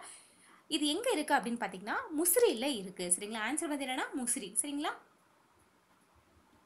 இதை எப்படி ஷார்ட்கட்டில் ஞாபகம் வச்சுக்கலாம் அப்படின்னு சொல்லிட்டு பார்த்தீங்கன்னா இந்த பேரியாறு மேற்கு தொடர்ச்சி மலை ரெண்டுலையுமே இந்த பே இருக்குல்ல அது அப்படியே வந்து பார்த்தீங்க அப்படின்னா அந்த பா வந்து பார்த்தீங்கன்னா மாவா பார்க்கலாம். சரிங்களா? அதனால முசிறி ஞாபகம் வச்சுக்கோங்க. சரிங்களா? அது மட்டும் இல்லாமல் இந்த லாஸ்ட் லெட்டர் வரும் பேரி ஆறு ரூ வருதா? அந்த ரூ வந்து பார்த்தீங்கன்னா அப்படியே அந்த ரா முசிறியில் லாஸ்ட் லெட்டர் வருது இல்லைங்களா? அது. சரிங்களா? இல்லை அந்த லாஸ்ட் லெட்டர் வச்சு மட்டும் கூட நீங்கள் ஆன்சர் எழுதலாம் மக்கள் ஆன்சர் வந்து முசிறி. ஸோ சேர நாட்டில் இருக்க துறைமுகத்துக்கு பெயர் என்னன்னு கேட்டாலும் முசிறி. சரிங்களா? கொஷின் எப்படி வேணால் கேட்கலாம். ஸோ நீங்கள் வந்து எல்லா ஆங்கிளையும் படிச்சுக்கோங்க சரிங்களா? இது முசிறி. நமக்கு புரிஞ்சிருச்சா? நெக்ஸ்ட் போல நாப் நாலாவது கேள்வி பாருங்க. இப்போ வந்து சோழ நாட்டை பார்க்க போகிறோம் சோழ நாட்டில் வந்து பார்த்தீங்கன்னா காவிரி ஆறு இருக்குது சரிங்களா? ஏன்னா சோழ நாட்டில் தான் காவிரி ஆறு இருக்குன்னு நம்ம படிச்சிருக்கோம் சரிங்களா? காவிரி ஆறும் வைக்குத்தல் அரிசியும்லாம் அந்த பாடல் வரிகள்லேயே வரும் இல்லைங்களா? அந்த மாதிரி தான். சோழ நாட்டில் தான் வந்து இந்த காவிரி ஆறு வருது சரிங்களா? இந்த காவிரி ஆறு கடலை கலக்கிற இடத்துல காவிரி ஆறு கலக்குது. ஆனால் அது கடலில் கலக்கிற இடத்துல எந்த திசைனா வடகரையில் சரிங்களா? ஏன்னா இதை நான் ஏன் தெளிவாக சொல்கிறேன் அப்படின்னா இப்போ நாலு கூற்றுகள் கொடுத்து தென்கரைன்னு கொடுத்துட்டாங்கன்னா அப்படியே தப்பாக போயிடும் சரிங்களா? அதுக்காக தானே ஒவ்வொன்றும் பார்த்து பார்த்து உங்களுக்கு சொல்லிட்டு இருக்கேன். காவிரி ஆறு கடல்ல கலக்கிற இடத்துல வடகரைக்கு மேலே வந்து ஒரு இயற்கையான ஒரு துறைமுகம் அமைஞ்சிருக்கு. அதுதான் என்ன அப்படின்னா காவிரி பூம்பட்டினம் சரிங்களா? சோழ நாடு அப்படின்னாவே நமக்கு காவிரி பூம்பட்டினம் நமக்கு நல்லா தெரியும். இன்னொன்று எப்படி ஷார்ட்கட்டை ஞாபகம் வச்சுக்கோன்னா காவிரி ஆறு கடலில் கலக்கிற இடத்துல அந்த காவிரி ஆறுடைய பெயர்லேயே அந்த துறைமுகம் இருக்கும். காவிரி பூம்பட்டினம் சரிங்களா? காவிரி ஆறு காவிரி பூம்பட்டினம் மேலே பார்த்தது என்ன? பேரி ஆறு. பேரி ஆறு முசிறி. லாஸ்ட்டாக அந்த ரூ வருதுல்ல அதை அப்படியே ரீன் போடுங்க. லாஸ்ட்டு அப்போ முசிறி. சரிங்களா? இப்போ அடுத்த ஐந்தாவது கேள்வி பாருங்கள் தாமிரபரணி ஆறு கடலில் கலக்கும் இடத்தில் ஆற்றின் பார்த்தீங்களா மேலே வடன் பார்த்தோம். இதில் வந்து திசை வந்து மேற்கு கரைன்னு கொடுத்துருக்காங்க. அதுதான் ரொம்ப முக்கியம். தாமிரபரணி ஆறு கடலில் கலக்கும் இடத்தில் ஆற்றின் மேற்கு கரையில் அமைந்த இயற்கை துறைமுகத்தின் பெயர். என்ன ஆன்சர் அப்படின்னு பார்த்தீங்கன்னா கொர்க்கை சரிங்களா? ஆன்சர் வந்து கொர்க்கை மோஸ்ட்லி இது வந்து பார்த்தீங்கன்னா பாண்டிய நாட்டோட சம்மந்தப்பட்டது ஸோ பாண்டிய நாட்டுடைய துறைமுகத்துடைய பெயர் வந்து கொர்க்கை நமக்கு தெரியும் இல்லைங்களா? அதே தாங்க இப்போ தாமிரபரணி ஆறு வந்து கடலில் கலக்குது. அப்படி கடலில் கலக்கிற இடத்துல அதுக்கு மேற்கு பக்கமாக வந்து பார்த்தீங்கன்னா ஒரு இயற்கை துறைமுகம் அமைஞ்சிருக்கு. அதோடைய பெயர் தான் வந்து பார்த்தீங்கன்னா கொப்பி சரிங்களா? இப்போ நம்ம மூணு ஆறு பார்த்துருக்கோம். பேரியாறு அப்படின்னா முசிறி காவிரி ஆறு அப்படின்னா காவிரி பூம்பட்டினம் தாமிரபரணி ஆறு அப்படின்னா கொர்க்கை சரிங்களா? இந்த தாமிரபரணி ஆறு கொர்க்கை எப்படி ஞாபகம் வச்சுக்கலாம் அப்படின்னு சொல்லிட்டு பார்த்தீங்கன்னா எப்படி சொல்கிறது இப்போ வந்து பார்த்தீங்கன்னா இந்த தாமிரபரணி படம் பார்த்துருக்கீங்க இல்லைங்களா? அதில் தாமிரபரணி படம் பார்க்குறப்ப லாஸ்ட் சீன்லாம் வந்து பார்த்தீங்கன்னா ஒருத்தர் ஒருத்தர் ஒருத்தரை வெட்டிக்கிற மாதிரி காமிப்பாங்க சரிங்களா? அதாவது அந்த ஃபுல்லாக வந்து பார்த்தீங்கன்னா அந்த செம்மண் ஏரியாவாக அந்த ஃபைனல் ஃபைனல் முடிகிற அந்த இது பார்த்தீங்கன்னா ஒரு ஃபுல்லாக செம்மண் ஒரு என்ன சொல்கிறது ஃபுல்லாக சாண்டாகவே இருக்கும். அந்த பட் வந்து செம்மண் கலரில் இருக்கும் மணலாம் அதில் வந்து வெட்டுற மாதிரி சீன்ஸ்லாம் வரும் சரிங்களா? அதனால் இது எப்படி ஷார்ட்கட்னா தாமிரபரணி ஆறு. ஸோ வந்து பார்த்தீங்கன்னா என்னென்னா கொர்க்கை அந்த கொல்ற சீன் லாஸ்ட்டாக அந்த அந்த சீன் தான் வரும் சரிங்களா? கொன் கொல்ற மாதிரி இருக்கும். அவள் கொண்டுடுவா ஆனால் வந்துட்டு ஹீரோ தான் வந்து பார்த்தீங்க அப்படின்னா ஜெயிலுக்கு போகிற மாதிரி இருக்கும். ஸோ அந்த அந்த சீனை ஞாபகம் வச்சுக்கோங்க. அதுக்கு தாமிரபரணி படத்தை ஞாபகம் வச்சுக்கோங்க. லாஸ்ட்டாக வந்து பார்த்தீங்கன்னா மெயின் அதோட சொல்யூஷனே வந்து பார்த்தீங்கன்னா லாஸ்ட்டாக வந்து வில்லனை கொண்டுடுவாங்க பட் வந்து பழியை வந்து மாற்றி ஏற்றுப்பாங்க சரிங்களா? அந்த கொல்தல் அப்படின்னா அந்த கொற்கை ஞாபகம் வச்சுக்கோங்க. சரிங்களா? அடுத்து ஆறாவது கேள்வி. இது இதில் பார்த்தீங்கன்னா நாலுமே வந்து பட்டிமண்டபம் பட்டிமண்டபம் சொல்லிட்டு வரும். இது நாளுக்குமே ஆனால் மாற்றி மாற்றி வேறு வேறு நூல் வரும். அதுக்காக நான் அதுக்கும் ஷார்ட்கட் சொல்கிறேன் ஆறாவது கேள்வி. பட்டி மண்டபத்து பாங்கறிந்து எருமின் என்ற பாடல் வரிகள் இடம்பெறும் நூல். ஆன்சர் என்ன அப்படின்னு சொல்லிட்டு பார்த்தீங்கன்னா மணிமேகலை. இது எப்படி ஞாபகம் வச்சுக்கலாம் அப்படின்னு சொல்லிட்டு பார்த்தீங்கன்னா இப்போ வந்து பார்த்தீங்கன்னா கோவலன் மாதவிக்கு மகளாக பிறந்ததா வந்து மணிமேகலை சரிங்களா? மணிமேகலை வந்து அதனால் ஏன்னா வந்து கோவலன் அதுக்கப்புறம் வந்து மாதவி விட்டு கோவலன் பிரிஞ்சு போயிருப்பாரு. அதுக்கப்புறம் என்ன ஏன்னா ஒரு என்ன சொல்கிறது ஒரு சிங்கிள் மதரால் வளர்க்கப்படுற குழந்தை நிறைய பிரச்சனையை ஃபாலோ பண்ணியிருப்பாங்க இல்லைங்களா? ஸோ மேபி அதனாலே என்னமோ வந்து மணிமேகலை வந்து துறவு வாழ்க்கையை ஃபாலோ பண்ணியிருப்பாங்க அதனால அவர் ஒவ்வொரு விஷயமும் பாங்கு அறிந்து அறிந்து மணிமேகலை பண்ணியிருப்பாங்க இதெல்லாம் ஷார்ட்கட்காக சொல்கிறேன் உண்மையும் அதில் பாதி சொன்னோடனே ஷார்ட்கட்காக நான் சொல்கிறேன் மணிமேகலை வந்து பாங்கு அறிந்து சரிங்களா? ஒவ்வொருத்தருக்கும் எப்படின்னு சொல்லிட்டு பாங்கு அறிந்து செயல்பட்டுருப்பாங்க. ஸோ பட்டி மண்டபத்து பாங்கு அறிந்து எருமின் அப்படின்னா ஆன்சர் வந்து மணிமேகலை சரிங்களா? அடுத்து ஏழாவது கேள்வி. பன்னாரும் கலைத்தறி பட்டி மண்டபம் என்ற பாடல் வரிகள் இடம்பெறும் நூல். பன்னாரும் கலைத்தறி பட்டி மண்டபம் என்ற பாடல் வரிகள் இடம்பெறும் நூல். ஸோ ஆன்சர் என்னன்னா கம்ப ராமாயணம். ஆன்சர் வந்து கம்ப ராமாயணம் சரிங்களா? இது எப்படி ஞாபகம் வச்சுக்கலாம் அப்படின்னு சொல்லிட்டா கம்ப ராமாயணம் அப்படின்னு பார்த்தீங்க அப்படின்னா அதில் வந்து பார்த்தீங்க அப்படின்னா மோஸ்ட்லி வந்து என்ன சொல்கிறது ராமன் அண்ட் ஹனுமன் இதை பற்றி எல்லா ஸ்டோரி பற்றி வருதா சரிங்களா? இதில் வந்து பார்த்திங்கன்னா நிறைய கலைகள் சம்மந்தப்பட்டிருக்கும் சரிங்களா? நிறைய கலைகள் அப்படின்னா நிறைய விஷயங்கள் இருக்கும். ஸோ நிறைய நல்ல ஏன்னா இப்போ கம்பராமாயணத்தில் ராவணனும் வருவார் சரிங்களா? ஸோ ராவணன் இலங்கையெல்லாம் வந்து ரொம்பவே சூப்பராக வச்சுருந்தாங்க. ரொம்பவே அப்படி இருந்துச்சு இப்படி இருந்துச்சு நிறைய பார்த்துருப்போம் சரிங்களா? அதனால் நிறைய விஷயங்கள் கலை சம்மந்தப்பட்ட நிறைய விஷயங்கள் புரிஞ்சிருக்கனால ஸோ வந்து பார்த்திங்கன்னா கலை தெரி அப்படின்னா கம்ப ராமாயணம் ஞாபகம் வச்சுக்கோம் இல்லை இன்னொன்று எப்படி ஞாபகம் வச்சுக்கலாம் அப்படின்னா கலை அப்படின்னா கா ஃபர்ஸ்ட் லெட்டர் வருதா? ஸோ கா கம்பராமாயணம் ஞாபகம் வச்சுக்கோங்க சரிங்களா? அடுத்து எட்டாவது கேள்வி. மகத நன்னாட்டு வாழ்வாய் வேந்தன் பகைப்புறத்து கொடுத்த பட்டி மண்டபம் என்ற பாடல் வரிகள் இடம்பெறும் நூல். ஆன்சர் என்ன அப்படின்னு சொல்லிட்டு பார்த்தீங்கன்னா சிலப்பதிகாரம். சரிங்களா? இதே எப்படி ஷார்ட்கட்டில் ஞாபகம் வச்சுக்கலாம் அப்படின்னு சொல்லிட்டு பார்த்தீங்கன்னா சிலப்பதிகாரம் அப்படின்னாவே என்ன? கண்ணகி. சரிங்களா? கண்ணகி என்ன பண்ணுவாங்கன்னா வச்சுக்கோங்களேன் கண்ணகிக்கு வந்து பார்த்தீங்கன்னா ரொம்பவே கோவம் வந்துடும் ஏன்னா வந்து அவருடைய கணவர் வந்து பார்த்தீங்க அப்படின்னா ஒரு சிலம்பை வந்து பார்த்தீங்கன்னா தப்ப களவாடிட்டாங்கன்னு சொல்லிட்டு கைது பண்ணிடுவாங்களே ஏன் ஹஸ்பண்ட் ஏன் களவாடின்னு சொன்னீங்க? அப்படின்னு சொல்லிட்டு போயிட்டு அந்த மன்னர் மேலே ரொம்ப ஒரு கோவம் வந்துடும் கண்ணகிக்கு. சரிங்களா? அதனால வந்து பார்த்தீங்கன்னா அந்த சிலம்பை தூக்கி போட்டு ரொம்ப நிறைய இஷ்யூ ஆயிருக்கும். அதனால ஒரு பகை உருவாயி வந்ததுக்கப்புறம் தான் ஃபைனலாக வந்து பார்த்தீங்கன்னா வந்து இது சாபம் குடிச்சிட்டு வந்து மதுரை எரிந்து போக அப்படின்னு சொல்லிட்டு வந்திருப்பாங்க. சரிங்களா? இது எல்லாத்துக்குமே நார்மல் தான். சரிங்களா? அதுதான். ஒரு பகை அப்படிங்கிற வார்த்தை வந்துச்சுனாவே அது வந்து பார்த்தீங்கன்னா சிலப்பதிகாரம் அப்படின்னு ஞாபகம் வச்சுக்கோங்க சிலப்பதிகாரம் அப்படின்னாவே நமக்கு என்ன ஞாபகம் வரும்? கண்ணைக்கு தான் நமக்கு ஞாபகம் வரும். சரிங்களா? அதுதான். சரிங்களா? அடுத்து ஒன்பதாவது கேள்வி பாருங்க. பட்டி மண்டபம் ஏற்றினை ஏற்றினை எட்டினோடு இரண்டும் அரியணையே என்ற பாடல் வரிகள் இடம்பெறும் நூல் ஸோ ஆன்சர் என்ன? திருவாசகம் அப்படின்னு அர்த்தம். சரிங்களா? இப்போ திரு வாசகம் அப்படின்னா இப்போ எப்படின்னா இது எப்படி ஷார்ட்கட் ஞாபகம் வச்சுக்கலாம் அப்படின்னா ஏற்றினே ஏற்றினே அப்படின்னு சொல்லிட்டு வருதா? ஸோ ஏற்றினே ஏற்றினே அப்படின்னா நல்லா வாசம் ஏறுது எங்கேயோ அப்படின்னு நம்ம சொல்லுவோம் இல்லைங்க சம்டைம்ஸ் ஏதோ நல்ல குட் ஸ்மெல்ஸ் அப்புறம் ஊதுபத்தி அல்லது வந்து சாப்பாடு ஸ்மெல் அப்படின்னா ஏதோ ஸ்மெல் இப்படி நம்ம கை காட்டோல இப்படி மேலே மேலே ஏதோ ஸ்மெல் வருது ஸ்மெல் வருது ஸ்மெல் பண்ணுவோம் இல்லைங்களா? அப்போ ஏறுது. ஸ்மெல் வந்து ஏறிக்கிட்டே இருக்கு நமக்கு அப்படின்னு சொல்கிறப்ப ஏறுது அப்படின்னா திருவாசகம் வாசகம்ல வாசம் வருது இல்லைங்களா? ஸோ திருவாசகம் ஞாபகம் வச்சுக்கோங்க சரிங்களா? இப்போ இதில் நாலு பார்த்துருக்கோம் சரிங்களா? ஸோ ஆறாவது கேள்வியில் பாருங்கள் பட்டிமன்றத்து பாங்கறிந்து ஏறுமீன் அப்படின்னு சொல்லிட்டு பார்த்தோம்னா ஸோ பாங்கறிந்து செயல்படுத்தியது யாரு? மணிமேகலை. ஸோ ஆன்சர் வந்து மணிமேகலை. அடுத்து ஏழாவது கேள்வி பாருங்க. பன்னாரும் கலைத்தறி பட்டி மண்டபம் இது எப்படி ஷார்ட்கட்ல ஞாபகம் அப்படின்னு சொல்லிட்டு பார்த்தீங்கன்னா கலை. கம்ப ராமாயணத்தில் வந்து பார்த்தீங்கன்னா ராவணன் இலங்கையெல்லாம் இருக்கல ஏன்னா இலங்கை வந்து ராவணன் சூப்பராக ஆட்சி பண்ணார். ரொம்பவே சூப்பராக இருந்துச்சு. இலங்கையில் செல்வம் செல்வம் செல்வங்கள்லாம் குவிஞ்சிருந்துச்சு அப்படின்லாம் நிறைய ஒரு ஸ்டோரிலாம் இருக்கு. ஸோ கலைகள் அதிகமாக புரிஞ்சிருந்தா வந்து பார்த்தீங்கன்னா எனது ரா இலங்கை. ஸோ அதனால வந்து பார்த்தீங்கன்னா அது சம்மந்தப்பட்ட ஸ்டோரி தான் வந்து பார்த்தீங்கன்னா கம்ப ராமாயணம் சரிங்களா? அது மட்டும் இல்லாமல் இந்த கலை அப்படிங்கிற வார்த்தையில் காங்கிற வார்த்தை கம்ப ராமாயணம் இப்படி கூட ஞாபகம் வச்சுக்கோங்க ஸோ அடுத்து எட்டாவது கேள்வி பாருங்க. மகதன் நன்னாட்டு வாழ்வாய் வேந்தன் பகைப்புறத்து கொடுத்த பட்டிமண்டபம் என்ற பாடல் வரிகள் இடம்பெறும் இது எப்படி ஞாபகம் வச்சுக்கலாம் அப்படின்னு சொல்லிட்டு பார்த்தீங்கன்னா பகைப்புறத்து பகை அப்படின்னு சொல்லிட்டு பார்த்தீங்க அப்படின்னா இப்போ வந்து பார்த்தீங்கன்னா ஆன்சர் என்ன அப்படின்னா அதுக்கு சிலப்பதிகாரம். இப்போ எப்படின்னா கண்ணகி இருக்காங்க இல்லைங்களா? கண்ணகி வந்து பார்த்தீங்கன்னா கணவர் மேலே பளிச்சில் வந்ததுனால வந்து பார்த்தீங்கன்னா அந்த சிலம்பை எடுத்து உடச்சி வந்து க அந்த க- மன்னருக்கு ப்ரூவ் பண்ணியிருப்பாங்க சரிங்களா? அதனால பகை கொண்டு மன்னரையும் திட்டிட்டு அதுக்கப்புறம் வந்து அந்த மதுரையும் வந்து பார்த்தீங்கன்னா எரிச்சிட்டு போயிருப்பாங்க சரிங்களா? ஸோ பகை அப்படின்னாவே சிலப்பதிகாரம் சரிங்களா? அடுத்து ஒன்பதாவது கேள்வி பாருங்க. பட்டிமன்றம் ஏற்றனை ஏற்றனை எட்டினோடு இரண்டும் அரியணே என்ற பாடல் வரிகள் இடம்பெறும். இதே எப்படி ஷார்ட்கட்டில் ஞாபகம் அப்படின்னா ஏற்றனை ஏற்றனை. இப்போ ஸ்மெல் ஏறுது ஏறுது சரிங்களா? இப்போ அது நல்லா உட்காந்துட்டு இருக்கோம். ஒரு பேட் ஸ்மெல்லாக இருந்தாலும் கூட ஐயோ என்னப்பா ஸ்மெல் அதிகமாயிட்டே இருக்கு அப்படின்னு சொல்லுவோம். அதே மாதிரி குட் ஸ்மெல்லாக இருந்தாலும் ஸ்மெல் ஓவராக வந்துட்டே இருக்குப்பா எனக்கு பசிக்குதுப்பா அப்படின்னு நம்ம சொல்றோம் இல்லைங்களா? ஸோ ஏற்றிட்டே இருக்கிறது என்ன? திருவாசகம். சரிங்களா? அதில் வாசம் வருதா? திருவாசகம். சரிங்களா? பத்தாவது கேள்வி பாருங்க. குறுந்தொகை நூலின் ஆசிரியர் யார்? குறுந்தொகை நூலின் ஆசிரியர் யார்? ஆன்சர் என்ன? பாலை பாடிய பெருங்கொடுக்கோ. பாலை பாடிய பெருங்கடுக்கோ. ஸோ நிறைய இருக்கலாம். இந்த நைன்த் ஸ்டாண்டர்டில் இருக்க புக்கில் இந்த குறுந்தொகை வர்றதுக்கு இவர் தான் வந்து ஆத்தர் சரிங்களா? அந்த பாடலுக்கு இவர் தான் ஆத்தர் ஸோ குறுந்தொகை நூலின் ஆசிரியர் வந்து பார்த்தீங்கன்னா பாலை பாடிய பெருங்கடுக்கோ. சரிங்களா? அடுத்து பதினோராவது கேள்வி. இது ரெண்டு வந்து பார்த்தீங்கன்னா சாகித்ய அகாடமி வருது. சாகித்ய அகாடமி ரொம்ப ரொம்ப ரொம்ப ரொம்ப முக்கியம். சரிங்களா? எல்லாமே ஷார்ட்கட்டோட படிச்சுக்கிட்டீங்க அப்படின்னா மறக்காது. பதினோராவது கேள்வி. கோ அழகிரிசாமி எந்த நூலுக்காக சாகித்ய அகாடமி விருது பெற்றார்? எந்த ஆண்டு பெற்றார்? ஸோ ஆன்சர் என்ன? அன்பளிப்பு. அன்பளிப்பு அப்படிங்கிறது வந்து பார்த்தீங்கன்னா ஒரு சிறுகதை. சரிங்களா? இது எப்படி ஷார்ட்கட் ஞாபகம் வச்சுக்கலாம் அப்படின்னு சொல்லிட்டு பார்த்தீங்கன்னா இப்போ அன்பளிப்பு அன்பளிப்பு யாராவது கொடுத்தாங்க அப்படின்னா எப்படி இருக்கும்? அது வந்து பார்த்தீங்கன்னா கண்டிப்பாக அது வந்து மோஸ்ட்லி அழகாக தான் இருக்கும். ஏன்னா நாம் வாங்குறப்ப அது அழகாக தெரியாது. ஒருத்தர் எனக்கு ப்ரெசென்ட் பண்ணுறப்ப அதோடைய சிம்பிளாக இருந்தாலும் சரி ரொம்ப பெருசாக இருந்தாலும் சரி அது ரொம்ப வேல்யூபிளாக இருக்கும் சரிங்களா? அதனால வந்து பார்த்தீங்கன்னா அழகாக தெரியும். நம்ம முகமும் வந்து பார்த்தீங்கன்னா அப்படி ஸ்மைல் பண்ணி நம்ம முகமும் அழகாயிடும் அப்படின்னு நான் வச்சுக்கோங்க. ஸோ அழகிரி சாமி அப்படின்னா அன்பளிப்பு அப்படின்ட்டு நான் வச்சுக்கோங்க சரிங்களா? அடுத்து பன்னெண்டாவது கேள்வி. கே. ஜானகிராமன் எந்த நூலுக்காக சாகித்ய அகாடமி விருது பெற்றார்? தி ஜானகிராமன் எந்த நூலுக்காக சாகித்ய அகாடமி விருது பெற்றார்? ஆன்சர் என்னன்னா சக்தி வைத்தியம். ஆன்சர் வந்து சக்தி வைத்தியம் அப்படிங்கிற நூலுக்காக. இது சக்தி வைத்தியம் அப்படிங்கிற நூல் வந்து பார்த்தீங்கன்னா நூல் கிடையாது. இது ஒரு சிறுகதை தொகுப்பு. சிறுகதை தொகுப்பு. சரிங்களா? இது ஏன்னா இந்த சிறுகதை தொகுப்பு சிறுகதைகள் இதெல்லாம் நல்லா படிச்சுக்கோங்க. நார்மலாக முக்கியமாக இதை மட்டும் படிச்சுக்கிட்டு அதை விட்டுட்டு போயிடாதீங்க. கடைசியில் அப்படி மாற்றி கொடுத்து நம்மளை அப்படியே தள்ளி விட்டுருவாங்க பின்னாடி. சரிங்களா? எல்லாமே ரொம்ப ரொம்ப முக்கியம். சரிங்களா? படிக்கிறது தான் படிக்கிறோம். கொஞ்சம் நல்லா படிச்சுட்டு போயிடலாமே. சரிங்களா? ஏன்னா எக்ஸாம் ஒரு டைம் தான் வரும் சரிங்களா?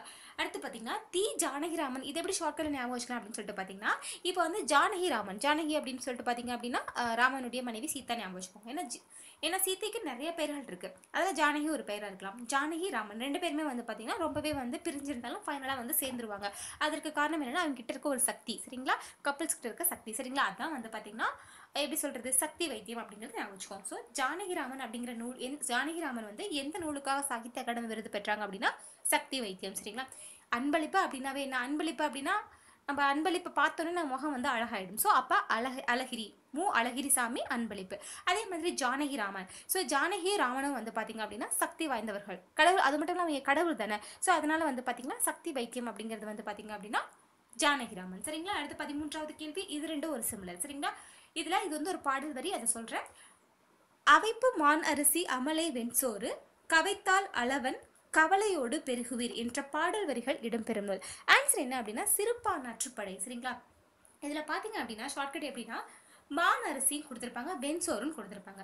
இப்போ என்னென்னா இப்போ வெண்சோறு அதாவது வந்து ஒயிட் ரைஸ்லாம் சாப்பிட்றோம் இல்லைங்களா? அதில் வந்து பார்த்தீங்க அப்படின்னா குளுக்கோஸ் அதுக்கப்புறம் சுகராக மாறி கடைசியில் வந்து சுகர் பேஷண்ட்டாகவே எல்லாருமே நம்ம மாறிடுவோம் சரிங்களா? ஸோ அதனால வந்து பார்த்திங்கன்னா மான்சோறு மான்சோறு அப்படின்னா ஏதாவது ஒரு நல்ல ரைஸ்னு வச்சுக்கோங்களேன். இப்போ என்ன ரெட் ரைஸ்லாம் நிறைய சொல்கிறாங்க நிறைய ஏதோ புது புது ரைஸ்லாம் சொல்கிறாங்க அதாவது பழங்காலத்திய அரிசி முறைகள் தான். அந்த மாதிரி சொல்கிறாங்க இல்லைங்களா?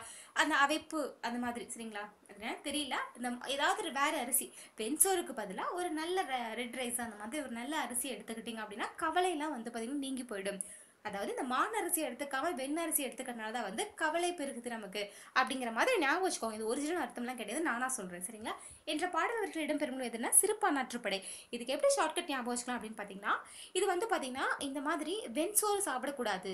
அதனால் வந்து சிறு தானியங்களுக்கு மாற்றணும் மோஸ்ட்லி வந்து டயட் அப்படின்னாவே டாக்டர்ஸ்லாம் என்ன சொல்லுவாங்க? சிறு தானியங்களை ஃபாலோ பண்ணுங்க. சரிங்களா? அப்படி தான் சொல்லுவாங்க. ஏன்னா அதுதான் வந்து ப்ரோட்டீன்ஸ் அதிகமாக இருக்கும். ஸோ வந்து வெயிட் லாஸ் ஆகும் அப்படின்னு சொல்லுவாங்க இல்லைங்களா? வெண்சோறு சாப்பிட வெண்சோறுன்னு வந்துட்டாவே வந்து பார்த்தீங்கன்னா சிறுதானியங்கள் ஞாபகம் வச்சுக்கோங்க. ஆன்சர் வந்து சிறுபானற்றுப்படை சரிங்களா? அடுத்த பதினாலாவது கேள்வி. புகை விரிந்தென்ன பொங்குத்துகில் உடியி ஆவி என்ன அவிர் நூற்கலிங்கம் என்ற பாடல் வரிகள் இடம்பெறும் நூல். ஆன்சர் என்னன்னா பெரும்பானாற்றுப்படை. ஆன்சர் வந்து பெரும்பானாற்றுப்படை. அதுக்கு பக்கத்திலே புறம் அப்படின்னு கொடுத்துருக்காங்க. புறம்னா புறநானூறு தானே? பெரும்பாலாற்று படைன்னு கொடுத்துருக்காங்க புறம்னு கொடுத்துருக்காங்க. அது உங்கள் சாய்ஸ் சரிங்களா? நான் பெரும்பாலாற்று படை மட்டும் இதில் சொல்கிறேன் சரிங்களா? இப்போ இதுக்கு எப்படி ஷார்ட்கட் ஞாபகம் வச்சுக்கலாம் அப்படின்னு சொல்லிட்டு பார்த்தீங்கன்னா ஃபஸ்ட்டு பார்த்தீங்கன்னா புகை விரிந்தென்ன அப்படின்னு கொடுத்துருக்காங்க. அதுக்கப்புறம் அது கீழே பார்த்தீங்கன்னா ஆவி என்னன்னு கொடுத்துருக்காங்க. இந்த புகை ரொம்பவே புகை மண்டலமாக இருந்து திடீர்னு ஏதோ ஆவி வர மாதிரி இருந்தால் அப்படி எப்படி இருக்கும்? பெரிய பெரிய விஷயம் ஆகிடும் நமக்கு. அது பெரிய விஷயம் ஆகிடும் சரிங்களா? ஒரு பெரிய ஒரு பயம் வந்துடும் சரிங்களா? அதனால் பெரும் பானாற்றப்படி ஞாபகம் வச்சுக்கோங்க சரிங்களா? அடுத்து பதினைந்தாவது கேள்வி. வஞ்சித்திணையின் துறைகளின் எண்ணிக்கை. வஞ்சித்திணையின் துறைகளின் எண்ணிக்கை. ஆன்சர் என்னன்னா பதிமூணு. சரிங்களா? வஞ்சித்திணைகளோட துறைகளின் எண்ணிக்கை எத்தனை அப்படின்னு பார்த்தீங்கன்னா பதிமூணு. இது எப்படி ஷார்ட்கட் ஞாபகம் வச்சுனா அந்த வஞ்சி ஸோ எல்லாத்துலேயுமே அடுத்த மூணு லெட்டர் தான் இருக்கும். ஸோ இது ஞாபகம் வச்சுக்க முடியாது. ஸோ வஞ்சி அப்படின்னா பதிமூணு அப்படின்னு ஞாபகம் வச்சுக்கோங்க. அடுத்து பதினாறாவது கேள்வி பாருங்க. வெற்றித்திரையின் துறைகளின் எண்ணிக்கை. வெற்றித்திரையின் துறைகளின் எண்ணிக்கை. ஆன்சர் வந்து பதினாலு. சரிங்களா? ஆன்சர் வந்து பதினாலு. சரிங்களா? அடுத்து பதினேழாவது கேள்வி. ஸோ இது வந்து இந்த வெற்றித்திணை வஞ்சித்திணை வந்து ஒரு நான் கொடுக்குறேன் சரிங்களா? ஏன்னா அடுத்து எல்லாமே ஒட்டுக்கா கொடுத்தா அது ஒரு இதாக சொல்கிறேன் ரெண்டு ரெண்டாக கொடுத்துருக்கூடாது உங்களுக்கு நான் ஒட்டுக்கா கொடுத்துருக்கணும் சரிங்களா? பதினேழாவது கேள்வி. கிளாசிக்கல் லிட்ரேச்சர் என்ற சொல்லின் தமிழாக்கம். கிளாசிக்கல் லிட்ரேச்சர் என்ற சொல்லின் தமிழாக்கம். ஆன்சர் என்ன செவ்வியல் இலக்கியம் சரிங்களா? இப்போ வந்து நம்ம கிளாசிக்கல் டான்ஸ் அப்படின்னு சொல்லுவோம் இல்லைங்களா? பரதநாட்டியத்தை கிளாசிக்கல் டான்ஸ் சொல்லுவோம் அப்படின்னா ஏன் அப்படின்னா பழமையான அப்படிங்கிறத வந்து செவ்வியல் அப்படிங்கிற ஒரு வார்த்தையிலையும் சொல்லுவோம். செவ்வியல் அப்படின்னா ரொம்ப என்ன சொல்கிறது பழமையாக அப்படியே ஒரு என்ன சொல்கிறது ரொம்ப அந்த காலத்துலேருந்தே ஒரு பழமைக்கும் ஒரு மதிப்பு இருக்குது பழமை அப்படின்னா நெகட்டிவாக இல்லாமல் ஒரு பாசிட்டிவான ஒரு இது இருக்குது ஒரு மொழிக்கும் அப்படிதான். சரிங்களா? லிட்ரேச்சர் அப்படிங்கிறது வந்து பார்த்தீங்கன்னா இலக்கியம். ஸோ ரொம்ப பழமைவாத இலக்கியம் அப்படிங்கிறது அது நம்ம செவ்வியல் அப்படின்னு நம்ம சொல்லுவோம். ஸோ கிளாசிக்கல் லிட்ரேச்சர் அப்படின்னா செவ்வியல் இலக்கியம். சரிங்களா? செம்மையானது செம்மையானது அப்படின்னு சொல்லுவோம் இல்லைங்களா? அதுதான். பதினெட்டாவது கேள்வி. ஃபோக் லிட்ரேச்சர் என்பதன் தமிழ்ச்சொல். ஃபோக் லிட்ரேச்சர் என்ற சொல்லின் தமிழ் சொல். ஆன்சர் என்ன நாட்டுப்புற இலக்கியம். ஃபோக் அப்படின்னாவே என்ன ஃபோக் டான்ஸ்னு சொல்லுவோம் இல்லைங்களா? நாட்டுப்புற பாடலுக்கு டான்ஸ் ஆடணும்னு சொல்லுவோம் இல்லைங்களா? அதே தான் ஃபோக் லிட்ரேச்சர் அப்படின்னு சொல்லிட்டு பார்த்தீங்கன்னா நாட்டுப்புற இலக்கியம். ஸோ இல்லை லிட்ரேச்சர் அப்படின்னா இலக்கியம். சரிங்களா? அது எல்லாத்துக்குமே தெரியும். லிட்ரேச்சர் அப்படின்னா இலக்கியம். சரிங்களா? இல்லை கிளாசிக்கல் அப்படின்னா செவ்வியல் ஃபோக் அப்படின்னா நாட்டுப்புறம். சரிங்களா? அடுத்து பத்தொன்பதாவது கேள்வி. சுயமரியாதை சுடர் என அழைக்கப்படுபவர் யார்?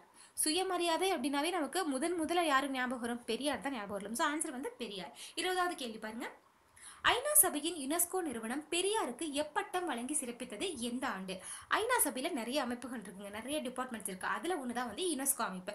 அந்த யுனெஸ்கோ அமைப்பு வந்து பார்த்தீங்கன்னா பெரியாருக்கு ஒரு பட்டம் வழங்குறாங்க. பர பட்டம் வழங்கி சிறப்பிக்கிறாங்க. அது என்ன பட்டம்? எந்த ஆண்டு அப்படின்னு தான் பார்க்குறோம் ஆன்சர் என்ன அப்படின்னா தெற்காசியாவின் சாக்ரட்டிஸ் சரிங்களா? பெரியார் வந்து பார்த்தீங்கன்னா நம்ம தெற்கு ஆசியா சரிங்களா? ஆசிய கண்டம்னு ஒன்று இருக்குது ஆனால் அது தெற்கு பக்கம் இருக்க ஆசியா இருக்குது பார்த்தீங்களா அந்த தெற்கு ஆசியாவுடைய சாக்ரட்டிஸ்னு சொல்லிட்டு அழைக்கப்படுது. நம்ம பெரியார் அப்படின்னு சொல்லிட்டு பட்டம் கொடுத்துருக்காங்க சரிங்களா?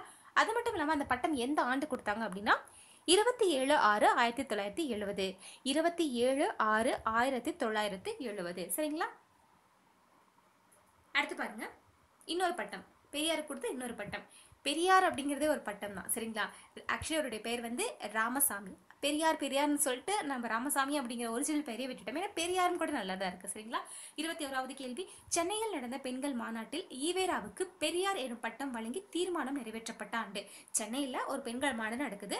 அந்த பெண்கள் மாநாட்டில் ஈவே ராமசாமி அவர்களுக்கு வந்து பெரியார் அப்படிங்கிற பட்டம் கொடுக்குறாங்க. அந்த பட்டம் கொடுக்கப்பட்ட நாள் எது அப்படின்னு பார்த்தீங்கன்னா ஆன்சர் வந்து ஆயிரத்தி தொள்ளாயிரத்தி முப்பத்தி எட்டு நவம்பர் பதிமூணு. ஆயிரத்தி தொள்ளாயிரத்தி முப்பத்தி எட்டு நவம்பர் பதிமூணு சரிங்களா? இந்த தெற்காசியாவின் சாக்ரட்டிஸ் அப்படிங்கிறது யுனெஸ்கோவில் ஐநா கொடுக்கறதுனால வந்து பார்த்தீங்கன்னா இது பெரிய பட்டம். அதனால் வந்து பார்த்தீங்க அப்படின்னா என்ன சொல்கிறது ஏழு ஏழு ஜென்மத்துக்கும் அவருடைய புகழ் பரவிக்கிட்டே இருக்கும். ஏழு ஏழு ஜென்மத்துக்கும் அவருடைய புகழ் வந்து பரவிக்கிட்டே இருக்கும். சரிங்களா? அதுக்கு வந்து முடிவே இல்லை. முடிவே இல்லாதனால ஜீரோன்னு நடுவில் ஆட் பண்ணிக்கோங்க. சரிங்களா? இந்த முன்னாடி சொன்னோம் இல்லை தெற்காசியாவின் சாக்ரட்டிஸ் பட்டம் அது எந்த ஆண்டு அப்படின்னு ஞாபகம் வச்சுக்கிறதுக்கு ஒரு ஷார்ட்கட் சொல்கிறேன் அவருடைய புகழ் வந்து ஏழு ஏழு ஏழு ஏழு ஏழு ஜென்மங்களும் வந்து பா போயிட்டே இருக்குங்கிறனால செவன் ஞாபகம் வச்சுக்கோங்க அது முடிவில்லாதது அப்படிங்கிறனால ஜீரோ ஜீரோ வந்து பார்த்தீங்கன்னா அப்படியே அது எழுதுறப்ப எப்படி அது கம்ப்ளீட் ஆகி முடிஞ்சிடும். சரிங்களா? அது முடிவில்லாதது. சரிங்களா? அது மாதிரி ஞாபகம் வச்சுக்கோங்க சரிங்களா? அடுத்து இருபத்தி ரெண்டாவது கேள்வி. பெரியார் சுயமரியாதை இயக்கத்தை தோற்றுவித்த ஆண்டு. ஆன்சர் என்னன்னா ஆயிரத்தி தொள்ளாயிரத்தி இருபத்தி அஞ்சு. சுயமரியாதை இயக்கத்தை எப்போ ஸ்டார்ட் பண்ணாருன்னா ஆயிரத்தி தொள்ளாயிரத்தி இருபத்தி அஞ்சு. இதுக்கு எப்படி நார்மலாக ஷார்ட்கட் வச்சுக்கலாம் அப்படின்னு சொல்லிட்டு பார்த்தீங்கன்னா எல்லாருக்குமே சரி ஒரு இருபத்தைந்து வயதில் வந்து பார்த்திங்கன்னா சுயமரியாதை அப்படிங்கிறது தானாகவே வந்துடும் அதுக்கு முன்னாடி வரலாம் பேரண்ட்ஸை டிபெண்ட் பண்ணி நம்ம இருப்போம். ஒரு அட்லீஸ்ட் ஒரு டுவெண்ட்டி ஃபைவ் இயர்ஸ்லேயாவது வந்து பார்த்திங்கன்னா மேக்ஸிமம் சரிங்களா? டுவெண்ட்டி ஃபைவ் இயர்ஸில் வந்து பார்த்திங்கன்னா எல்லாத்துக்குமே வந்து பார்த்திங்கன்னா இண்டிபெண்ட்டாக இருக்கணும் அப்படிங்கிற ஒரு தாட் வந்து வந்துடும் சரிங்களா? அதுதான். அப்படி ஞாபகம் வச்சுக்கோங்க. டுவெண்ட்டி ஃபைவ் ஞாபகம் வச்சுக்கோங்க. இருபத்தி மூன்றாவது கேள்வி. பொது கவிதையின் தந்தை என போற்றப்படுபவர் யார்? புது கவிதையின் தந்தை என போற்றப்படுபவர் யார்? ஆன்சர் என்னன்னா நான் பிச்சமூர்த்தி. இதுக்கு எப்படி ஷார்ட்கட் ஞாபகம் வச்சுக்கலாம் அப்படின்னு சொல்லிட்டு பார்த்தீங்கன்னா புது கவிதை புது கவிதையில் என்ன நிறைய ஹைகோ கவிதை வந்துருச்சு. சிம்பிளாக ஒரே ஒரு ஒரே ஒரு லெட்டர் சொல்லிட்டு ஆஹா இது கூட கவிதை தான் அப்படின்லாம் சொல்கிறாங்க இல்லைங்களா? அந்த மாதிரி. அப்புறம் நம்ம ரெண்டே லைன் தான் இருக்கும். அந்த லைன் படித்து பார்த்துட்டு அப்புறம் நாம் யோசிப்போம். அந்த கவிதை முடிஞ்சிருச்சு அப்படின்னு சொல்லிட்டு டாட் வச்சுருவாங்க. ரெண்டு லைன் தான் இருக்கும். என்னடா இது கவிதையா அப்படின்னு நம்ம யோசிப்போம். நார்மலாக இருக்க அவனை கவிதையான்னு யோசிப்போம். அந்த அளவுக்கு கவிதையெல்லாம் போயிட்டு பிச்சு பிச்சு எழுத ஆரம்பிச்சிட்டாங்க. ஒவ்வொருத்தரும் ஒவ்வொரு மாதிரி வந்து எழுத ஆரம்பிச்சிட்டாங்க. நல்லா தான் எழுதுறாங்க பட் அது வந்து பிச்சு பிச்சு இருக்கு. ஒவ்வொன்றும் ஒவ்வொரு மாதிரி நமக்கு புரியவே இல்லை. ஒரு லைன்லேயே முடிச்சிடுறாங்க. ஒரே ஒரு வார்த்தை சொல்லி கூட அது கவிதைன்னு சொல்கிறாங்க அந்த அளவுக்கு ஆயிடுச்சு. சரிங்களா? அதனால பிச்சு பிச்சு இருக்குது இப்போ இருக்க கவிதைலாம் அதனால பிச்சமூர்த்தி அப்படின்ட்டு ஞாபகம் வச்சுக்கோங்க. சரிங்களா? அடுத்து இருபத்தி நாலாவது கேள்வி. திருவள்ளுவரை உலக புலவர் என போற்றியவர் யார்? திருவள்ளுவரை உலக புலவர் என போற்றியவர் யார்? ஆன்சர் என்ன அப்படின்னு பார்த்தீங்கன்னா ஜியு போப் சரிங்களா? ஜியு போப் தான் வந்து பார்த்தீங்க இது முன்னாடி வந்து பார்த்தீங்க அப்படின்னா பாரதியார் வந்து பார்த்தீங்க அப்படின்னா ராஜாஜி வந்து பார்த்தீங்கன்னா இவர் தமிழ்நாட்டின் சொத்து அப்படிம்பாரு. காந்தி இல்லை இல்லை இவர் இந்தியாவோட சொத்து அப்படிம்பாரு. அந்த மாதிரி இதில் வந்து பார்த்தீங்க அப்படின்னா நாம் நான் தமிழ்நாட்டுக்காரங்க நம்ம என்ன சொல்கிறோம் இவர் வந்து எங்கள் ஊர் புலவர்ப்பா? எங்கள் நாட்டை சேர்ந்தவர்ப்பா? சாரி எங்கள் த தமிழ்நாட்டை சேர்ந்தவர் எங்கள் இந்திய நாட்டை சேர்ந்தவர் நாம் சொல்கிறோம் இவர் ஜியோபோப்பன் ஜியோபோப் வந்து வேறு நாட்டை சேர்ந்தவர் தானே. ஜியோபோப் வந்து என்ன சொல்றாருன்னா இவர் உலக புலவர். ஏன்னா அவர் திருக்குறள் வந்து உலக புகழ் பெற்றது உலக மக்கள் எல்லாத்துக்குமே பொருந்தக்கூடிய ஒன்று அதனால் வந்து ஏன்னா வெளிநாட்டவர் தான் வந்து உலக புலவர்னு சொல்ல முடியும். நம்ம உள்ளூர்க்காரங்க என்ன சொல்லுவோம்? நம்பால அப்படின்னு தான் சொல்லுவோம் சரிங்களா? அதனால உலக புலவர்னு சொன்னாவே அது வந்து பார்த்தீங்கன்னா வெளிநாட்டை சேர்ந்த ஒரு தமிழ் அறிஞராக தான் இருக்கும். நம்ம ஆன்சர் வந்து பார்த்தீங்கன்னா ஜியூ போப் சரிங்களா? அடுத்து இருபத்தி ஐந்தாவது கேள்வி. பக்தி சுவையின் அணி சொட்ட சொட்ட பாடிய கவிவளவ என சேக்கிலாரை பாராட்டியவர் யார்? ஆன்சர் என்ன அப்படின்னு சொல்லிட்டு பார்த்தீங்கன்னா மகாவித்வான் மீனாட்சி சுந்தரனார். சரிங்களா? இது எப்படி ஷார்ட்கட் ஞாபகம் அப்படின்னு சொல்லிட்டு பார்த்தீங்க அப்படின்னா மீனாட்சி சுந்தரனார். ஸோ மீனாட்சி சுந்தரனார் கோவில் அந்த மீனாட்சி சுந்தர மீனாட்சி சாமிலாம் இருக்கும் பார்த்தீங்களா அங்கெல்லாம் வந்து பார்த்தீங்க அப்படின்னா பக்தி சுவை ததும்பும். ஏன்னா வந்து பார்த்தீங்கன்னா பயங்கரமாக சாமிக்கெலாம் அலங்காரம் பண்ணி சாமிக்கெலாம் அந்த திருக்கல்யாணம் பண்ணுறது நிறைய பண்ணுவாங்க. ஸோ அவங்க வந்து பக்தி சுவை சொட்டி சொட்டி சொட்டி சொட்டி அப்படியே ரொம்ப அப்படியே ரொம்ப பக்தியில் திரைச்சிருப்பாங்க அதனால வந்து இந்த பக்தி சுவைன்னு வந்துட்டாவே சாமி பேராக தான் வரும். ஸோ மகாவித்வான் மீனாட்சி சுந்தரனார் சரிங்களா? அதுவும் இல்லாமல் பக்தி சுவை ரொம்ப சொட்டுது. சொட்ட சொட்டன்னு அத்தனை சொட்டுறாங்க இல்லைங்களா? அதனால மகா சரிங்களா? பெரிய அளவில் மீனாட்சி சுந்தரனார் ஞாபகம் வச்சுக்கோங்க. சரிங்களா? அடுத்து இருபத்தி ஆறாவது கேள்வி. தண்டமிழ் ஆசான் சாத்தான் நன்னூர் புலவன் என சீத்தலை சாத்தனாரை பாராட்டியவர் யார்? இப்போ சீத்தலை சாத்தனார் இங்கே நிற்கிறாருன்னு வச்சுக்கோங்க. அவர் வந்து ஒருத்தர் பாராட்டுறாரு. தண்டமிழ் ஆசான் சாத்தான் நன்னூர் புலவன் என்று உன்னை பாராட்டுகிறேன் அப்படின்னு சொல்றாரு. அப்படி சொல்கிறது யார் அப்படின்னு சொல்லிட்டு பார்த்தீங்க அப்படின்னா இளங்கோ வடிகள். சரிங்களா? இல்லை இளங்கோ வடிகளும் சீத்தலை சாத்தனாரும் சீத்தலை சாத்தனாரும் வந்து பார்த்தீங்கன்னா ஒரு காலத்தை சேர்ந்தவங்க அப்படின்னு கூட சொல்லுவாங்க. சரிங்களா? ரெண்டு பேரும் ஃப்ரெண்ட்ஸாக கூட இருந்திருக்காங்க. அப்படி இளங்கோ வடிகள் வந்து பார்த்தீங்கன்னா சீத்தலை சாத்தனாரை வந்து பாராட்டுறாரு. எப்படி பாராட்டுறாரு? தண்டமிழ் ஆசான் சாத்தான் நன்னூர் புலவன் அப்படின்னு சொல்லிட்டு பாராட்டுறாரு. சரிங்களா? இருபத்தி ஏழாவது கேள்வி இளைய கலாம் என்று அன்புடன் அழைக்கப்படுபவர் யார்? இளைய கலாம் என்று அன்புடன் அழைக்கப்படுபவர் யார்? ஆன்சர் என்னன்னா மயில்சாமி அண்ணாதுரை. ஆன்சர் வந்து மயில்சாமி அண்ணாதுரை சரிங்களா? இதுக்கு எப்படி ஷார்ட்கட் ஞாபகம் வச்சுக்கணும் அப்படின்னு சொல்லிட்டு பார்த்தீங்க அப்படின்னா அப்துல் கலாம் தான் வந்து பார்த்தீங்கன்னா ஏவுகணையின் தந்தைன்னு சொல்லிட்டு அழைக்கப்படுறாரு சரிங்களா? அதே மாதிரி ஏன்னா வந்து ஏவுகணை அப்படிங்கிறது அது வேற பட் இருந்தாலும் இந்த ராக்கெட் அப்படிங்கிறது அது வேற. ராக்கெட் தான் வந்து பார்த்தீங்கன்னா மெயினில் போயிட்டு வருது. ஏவுகணை அப்படிங்கிறது ஒரு ஒரு பர்டிகுலர் பிளேஸை வந்து தாக்கி அளிக்கிற மாதிரி. ஏன்னா டிஆர்டிஓட தானே வந்து அப்துல் கலாம் வந்து ஒர்க் பண்ணாரு. அப்புறம் வந்து பார்த்தீங்கன்னா இந்த ரொம்ப இந்த வான்வெளிக்கு போகிறது அப்படிங்கிறது வந்து பார்த்தீங்க அப்படின்னா ஏன்னா கலாம்க்கு ஈக்குவலாக சரிங்களா? அவர் எப்படி வந்து பார்த்தீங்கன்னா அந்த விண்வெளித்துறையில் ஒர்க் பண்ணாரோ அதே மாதிரி வந்து பார்த்தீங்கன்னா மயில்சாமி அண்ணாதுரையும் ஒர்க் பண்ணியிருப்பாரு இதுக்கு எப்படி சொல்கிறது அப்படின்னு பார்த்தீங்கன்னா அவருக்கு அடுத்த லெவல் சரிங்களா? இப்போ வந்து பார்த்தீங்கன்னா என்ன சொல்கிறது இந்த ராவணன் வந்து பார்த்திங்கன்னா சீதையை கடத்திட்டு போகிறப்ப அந்த மயில் இருக்குல்ல அந்த மயில் ஒரு பொம்மை மயில் மாதிரி. ஸோ அந்த வாகனம் வந்து பார்த்திங்கன்னா அந்த மயிலில் பொறிச்ச மாதிரி அதை பறந்து போச்சான் சரிங்களா? அதனால அதே நேரம் அந்த காலத்தில் ஒரு பறவை மாதிரி அது பறந்து போச்சான் அந்த வாகனத்தோட சரிங்களா? அதனால் வந்து பார்த்திங்கன்னா இல்லை கலாம் எப்படி வந்து அப்படி இப்போ ஏவுகணைகள்லாம் அனுப்பிச்சு பறக்க வச்சு அனுப்புனாரோ அதே மாதிரி பறந்தது யார் அப்படின்னா அந்த மயில் வாகனத்தை கொண்டவர். அதனால மயில்சாமி அண்ணாதுரை ஞாபகம் வச்சுக்கோங்க சரிங்களா? இந்த ஷார்ட்கட் கொஞ்சம் ஓகே தான் இருக்கும். அட்ஜஸ்ட் பண்ணிக்கோங்க. அடுத்து இருபத்தி எட்டாவது கேள்வி. தென்னகத்து பெர்னாட்சா என அழைக்கப்பட்டவர் யார்? தென்னகத்து பெர்னாட்சா என அழைக்கப்பட்டவர் யார்? ஆன்சர் என்ன அப்படின்னு பார்த்தீங்கன்னா அண்ணா அப்படின்னு அர்த்தம். சரிங்களா? ஆன்சர் வந்து அண்ணா. சரிங்களா? முன்னாடி பார்த்தோம் தெற்காசியாவின் சாக்ரட்டிஸ் அப்படின்னு பார்த்தது யார் அப்படின்னு பார்த்தீங்கன்னா பெரியார். இதில் என்னன்னா தென்னகத்து பெர்னாட்சா மொத்தத்தில் ரெண்டு பேருமே வந்து பார்த்தீங்கன்னா ஒரு குறிப்பிட்ட நபரை குறிப்பிடுறாங்க. சரிங்களா? இதில் தென்னகத்து பெர்னாட்சா அப்படின்னா ஏன்னா அண்ணாவை வந்து ஏன் தென்னகத்து பெர்னாட்சான்னு சொல்கிறாங்க அப்படின்னா ஏன்னா அதில் பெர்னாட்சா அப்படிங்கிறவர் கண்டிப்பாக வந்து பார்த்தீங்கன்னா ஒரு ஒரு என்ன சொல்கிறது பேச்சாளராக இருந்திருப்பார். ஏன்னா வந்து அண்ணா வந்து எதற்கு ஃபேமஸாக இருக்கார் அப்படின்னு பார்த்தீங்கன்னா அந்த பேச்சு. அவர் வந்து பார்த்தீங்கன்னா சூப்பராக வந்து ஒரு மேடை பேச்சாளர் அப்படின்னு சொல்லுவாங்க. அதனால மேபி தென்னகத்து பெர்னாட்சா கூட அவர் கம்பேர் பண்ணியிருப்பாங்க. சரிங்களா? ரெண்டுமே வந்து பார்த்தீங்கன்னா சிமிலராக இருக்குது தெற்கு ஆசியாவின் சாக்ரட்டிஸ். சரிங்களா? இது எப்படி ஷார்ட்கட்டை ஞாபகம் வச்சுக்கலாம் அப்படின்னு பார்த்தீங்க அப்படின்னா நான் முன்னாடி பெரியாருக்கு வர இதுக்கு சொல்கிறேன் தெற்கு ஆசியாவின் சாக்ரட்டிஸ் அப்படிங்கிறது பெரியார் எப்படி ஞாபகம் வச்சுக்கிறீங்க அப்படின்னா பெரியார் வந்து பார்த்தீங்கன்னா சாட்டையில் அடிச்ச மாதிரி சொல்வார் ஒவ்வொன்றுமே வந்து பார்த்தீங்கன்னா என்ன சொல்கிறதா நிறைய பேர் ஏற்றுக்கணுனாலுமே அவர் சொல்கிறது எல்லாமே நூற்றுக்கு நூறு உண்மை தான் சரிங்களா அதுக்குன்னு ரொம்ப சில விஷயங்கள். அதாவது நமக்கு தெரியும் இல்லைங்களா? நமக்குன்னு ஒரு பகுத்தறிவு நாலேஜ் இருக்கும். அதுக்கு தகுந்த சில விஷயங்களை ஒமிட் பண்ணிக்கலாம் சில விஷயத்தை சேர்த்துக்கலாம். இப்போ கடவுளே அவர் இல்லை அப்படின்னு சொல்கிறாரு பட் நாம் வந்து நம்புறோம். நெகட்டிவிட்டி இருக்குது பாசிட்டிவிட்டி இருக்குது ரெண்டுமே நம்ம வந்து அனுபவிக்கிறோம் நம்ம பார்த்து இருக்கோம் நாம் நம்புகிறோம் ஸோ அவருக்கு வந்து அவரோட லைஃப்பில் வந்து அதோட இம்பாக்ட் இல்லை. அதனால் அவர் நம்பல. சரிங்களா? மேபி அவருக்கு நடந்திருந்தால் அதை நம்பலாம். ஏதாவது பேட் எனர்ஜி வந்து பார்த்தீங்கன்னா அந்த மாதிரி ஏதாவது இருந்தால் அது நம்பியிருக்கலாம். ஸோ குட் எனர்ஜி ஏதாவது இருந்தால் அதையும் கூட நம்பியிருக்கலாம் சரிங்களா? அவருக்கு இல்லாதனால அவர் நம்பல. ஸோ அதனால் நமக்கு ஒரு விஷயம் நடக்குது அப்படிங்கிறத வச்சு தான் நாம் நம்புகிறோம் அவருக்கு அந்த மாதிரி எந்த ஒரு விஷயங்கள் நடக்காதனால அவர் நம்பல. அதனால தான் வந்து பெரியார் வந்து நிறைய விஷயத்த நம்பலை. அதனால் பெரியாருடைய விஷயத்த வந்து பார்த்தீங்க அப்படின்னா நம்ம வந்து தேவையானதை சேர்த்துக்கணும் தேவையில்லாத ஒமிட் பண்ணிக்கணும் சரிங்களா? இப்படி பெரியார் வந்து பார்த்திங்க அப்படின்னா நிறைய விஷயங்கள் வந்து சாட்டையில் அடிச்ச மாதிரி சொல்லுவார். அதனால் வந்து சாக்ரட்டிஸ் அப்படின்னு ஞாபகம் வச்சுக்கோங்க. தெற்காசியாவுடைய சாக்ரட்டிஸ் அப்படின்னா பெரியார். இப்போ இதில் வந்து பார்த்தீங்கன்னா இருபத்தெட்டாவது கேள்வி பார்த்துட்டு இருக்கோம் இல்லைங்களா? அதில் தென்னாத்து பெர்னாட்சான்னு சொல்லிட்டு அழைக்கப்படுறது யார் அப்படின்னா அண்ணா சரிங்களா? இது எப்படி ஷார்ட்கட் ஞாபகம் வச்சுக்கேன் அப்படின்னு பார்த்தீங்க அப்படின்னா பென் ஆட்ஷா அப்படின்னு சொல்லிட்டு வருது இல்லைங்களா?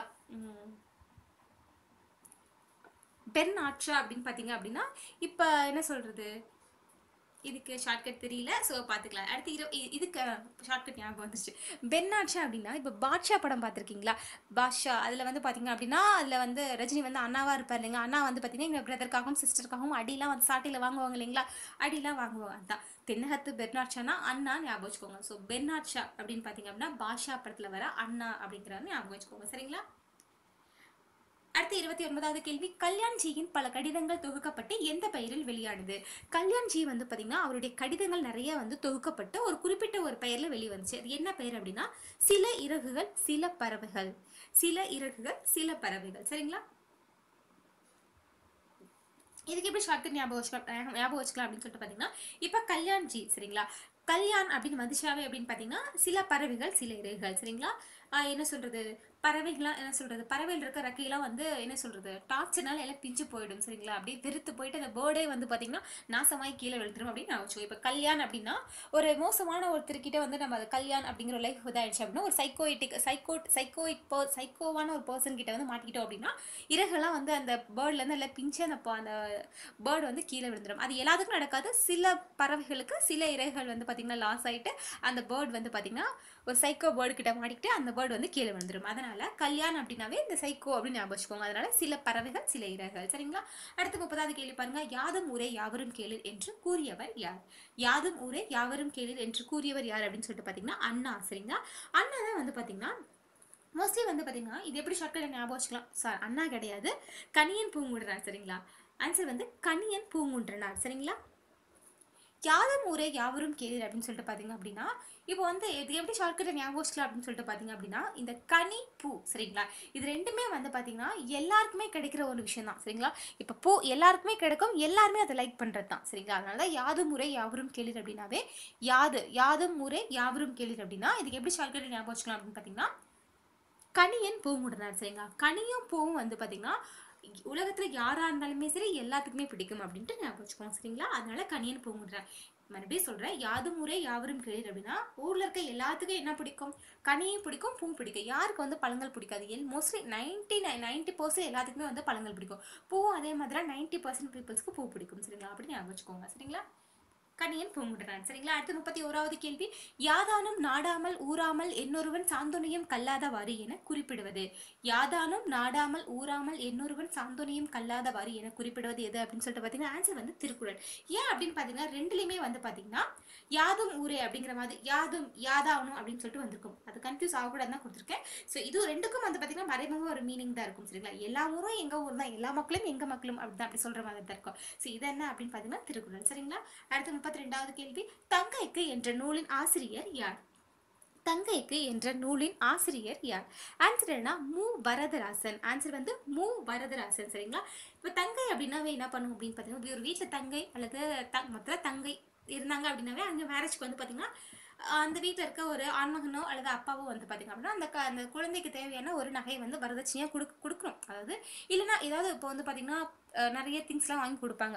இன்கேஸ் வாங்கி கொடுக்கலன்னு வச்சுக்கோங்க அது வந்து பார்த்தீங்கன்னா அது வேறு மாதிரி போயிடும் சரிங்களா? ஏன்னா வந்து அந்த வீட்டில் போயிட்டு அந்த அம்மா வந்து இது ஏன் பொருள் நீ எப்படி எடுக்கலாம் அப்படிங்கிற மாதிரி எல்லா வீட்லையும் வரும். அதனால தான் வந்து வரதட்சணைன்னு ஒன்று கொடுத்தே விடுறாங்க. திங்ஸ் எல்லாம் கொடுத்தே விடுறாங்க.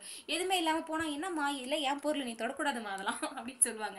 ஸோ அதனால தான் வந்து தங்கைக்கு அப்படின்னு பார்த்தீங்கன்னாவே நம்ம வரதட்சணை திங்ஸ்லாம் வந்து கொடுத்து விடணும். தங்கை அப்படின்னாவே அது வரதராசன் அப்படின்ட்டு ஞாபகம் வச்சுக்கோங்க. சரிங்களா? அடுத்து முப்பத்தி மூன்றாவது கேள்வி. தம்பிக்கு என்ற நூலின் ஆசிரியர். தம்பிக்கு என்ற நூலின் ஆசிரியர். ஸோ ஆன்சர் என்ன அப்படின்னு சொல்லிட்டு பார்த்தீங்க அப்படின்னா அறிஞர் அண்ணா. ஸோ இது எல்லாமே நான் ஷார்ட்கட்காக சொல்கிறேன் சரிங்க இப்படி ஒரு காமெடியாக ஒரு ஃப்ளோவாக சொன்னால் உங்களுக்கு இன்னும் ஞாபகம் இருக்கும் சரிங்களா? தம்பிக்கு என்ற நூலின் ஆசிரியர் யார் அப்படின்னு பார்த்தீங்கன்னா அறிஞர் அண்ணா. இப்போ அப்படியே இதுக்கு அப்படியே மாற்றி மாற்றி தம்பி அப்படின்னா அண்ணா அப்படின்னு ஞாபகம் வச்சுக்கோங்க சரிங்களா? அப்படியே ஆப்போசிட் தம்பி அப்படின்னா அண்ணா ஞாபகம் வச்சுக்கோங்க சரிங்களா?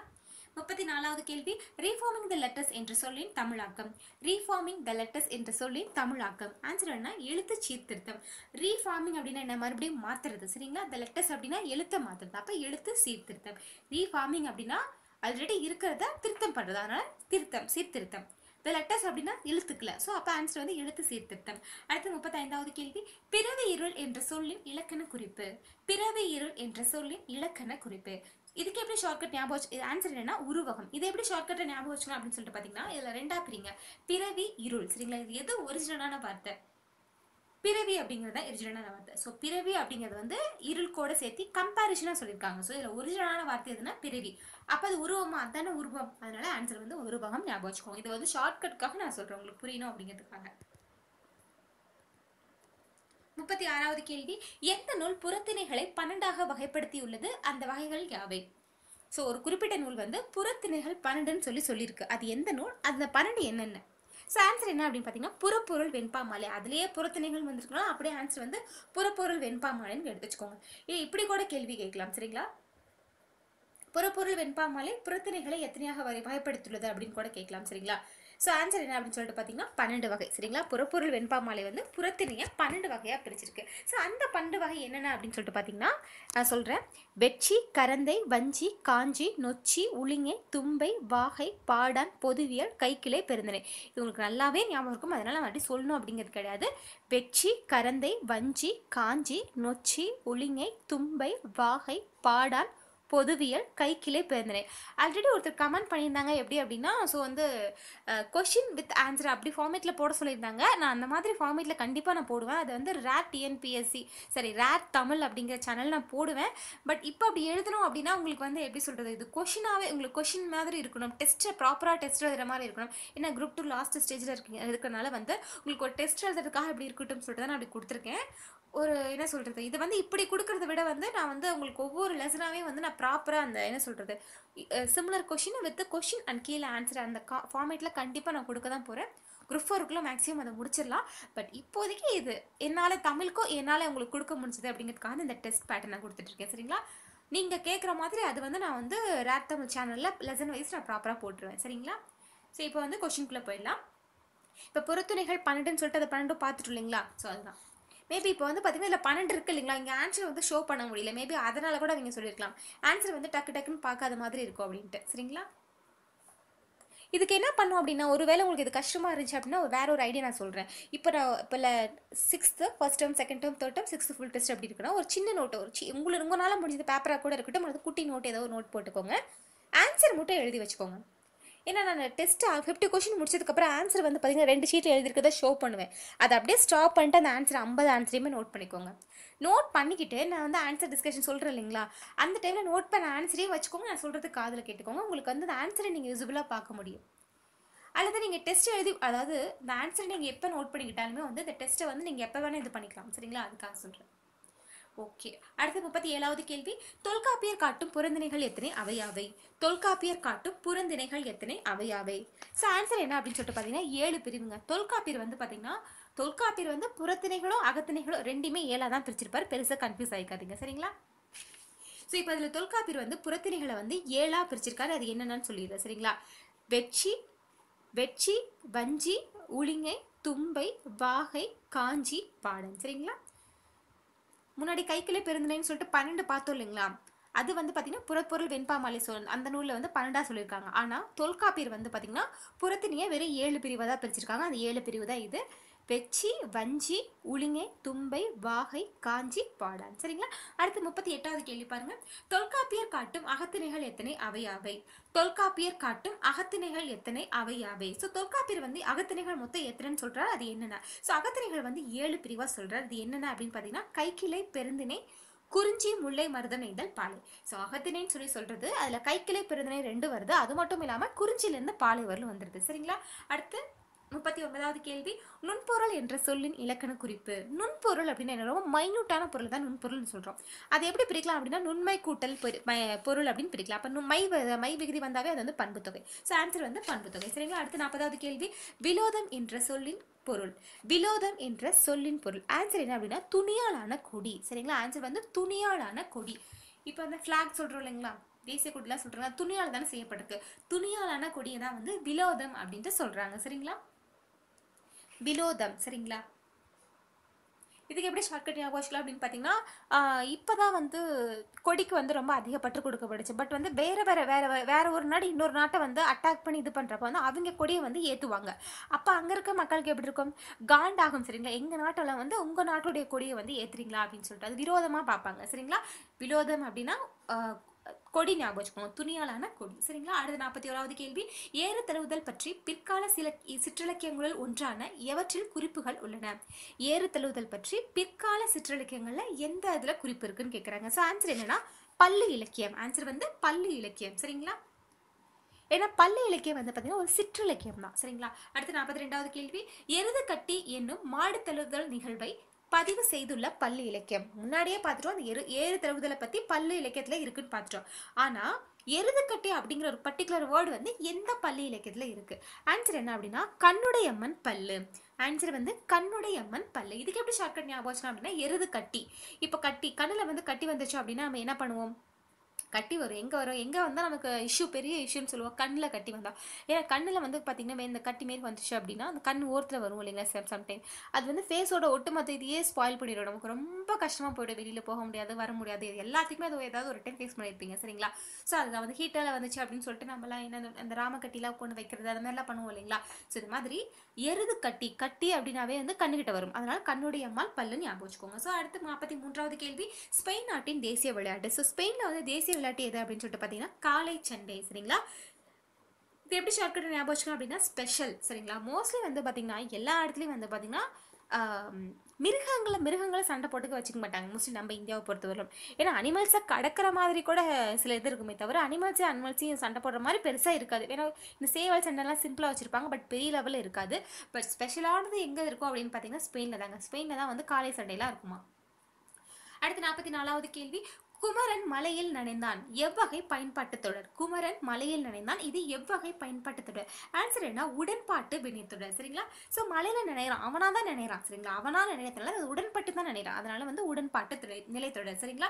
அடுத்து நாற்பத்தைந்தாவது கேள்வி. குமரன் மலையில் நனையவில்லை. எவ்வகை பயன்பாட்டு தொடர்? குமரன் மலையில் நனையவில்லை. இது எவ்வகை பயன்பாட்டு தொடர்? ஆன்சர் என்னன்னா எதிர்மறை வினைத்தொடர் மலையில் நினைந்தான் அப்படின்னா உடன்பாட்டு தொடர். நினையவில்லைன்னு சொல்லிட்டு ஆப்போசிட்டாக சொல்றதுனால அது வந்து ஏன்னா நனையவில்லை அப்படிங்கிற வார்த்தை என்ன? நனைதல் அப்படி நனைதல் அப்படிங்கிறதுக்கு ஆப்போசிட்டா நனையவில்லை. ஸோ அப்போ நனையவில்லைங்கிறது ஒரு எதிர்மறைங்கிறனால எதிர்மறை வினைத்தொடர். அடுத்து நாற்பத்தி ஆறாவது கேள்வி. திராவிட மொழிகளின் ஒப்பிலக்கணம் என்ற நூலின் ஆசிரியர் யார்? திராவிட மொழிகளின் ஒப்பிலக்கணம் என்ற நூலின் ஆசிரியர் யார்? ஆன்சர் என்ன ராபர்ட் கால்டுவெல் ஆன்சர் வந்து ராபர்ட் கால்டுவெல் சரிங்களா? இப்போ வந்து பார்த்தீங்கன்னா ஒப்பு இலக்கணம். சரிங்களா? இது எப்படி சொல்றது? ஒப்பு. இப்போ வந்து பார்த்திங்கன்னா இப்போ வந்து கால் பண்ணுறதுலாம் வந்து பார்த்தீங்கன்னா ஒப்புக்குன்னு ஆயிடுச்சு சரிங்களா? யாருமே வந்து பார்த்திங்கன்னா கால் பண்ணுறது வந்து பெருசாக லைக் பண்ணல. இப்போ வந்து பார்த்திங்கன்னா வீடியோ கால் பண்ணுறதா வந்து எல்லாமே லைக் பண்ணுறாங்க இல்லைங்களா? ஸோ அதனால் வந்து கால் அப்படிங்கிறது ஒப்புக்குன்னு ஆயிடுச்சு சரிங்களா? ஸோ கால் வெல் அப்படின்னா கால் அப்படின்னா ஒப்புக்குன்னு ஆயிடுச்சு. அதே வீடியோ கால் கொடுத்துருந்தாங்கன்னா அங்கே ஒப்பு வராது அப்படின்னு ஞாபகம் வச்சுக்கோங்க சரிங்களா?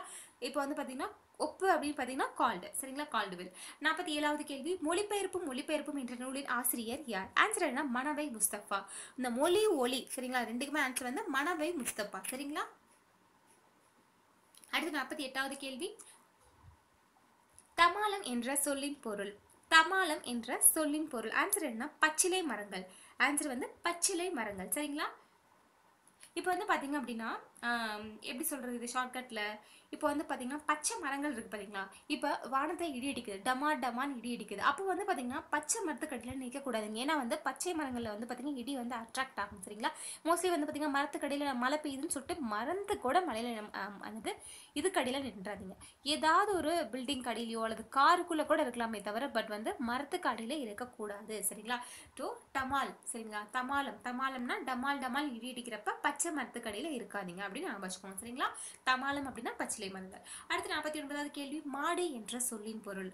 மாடு என்ற சொல்லின் பொருள். ஆன்சர் என்ன? பக்கம். மாடுக்கு நிறைய பொருள் இருக்குங்க. செல்வம்னு இருக்கு. மாடுனா அது ஒரு அனிமல் பசுமாடு காலமாடு அப்படி கூட வச்சுக்கலாம். சரிங்களா? ஸோ இப்போ மாடுக்கு இதில் என்ன பொருள் இருக்கு அப்படின்னா பக்கம். இது வந்து அந்த பாடல் வரிகளுக்கு தகுந்த மாதிரி அந்த பொ- பொருள் இருக்கும். சரிங்களா? மாடு அப்படின்னா பக்கம். ஐம்பதாவது கேள்வி பாருங்க. கோடு என்ற சொல்லின் பொருள். கோடு என்ற சொல்லின் பொருள். ஆன்சர் என்னன்னா குளக்கரை. கோடு அப்படின்னா என்ன பொருள் அப்படின்னா குளக்கரை. சரிங்களா?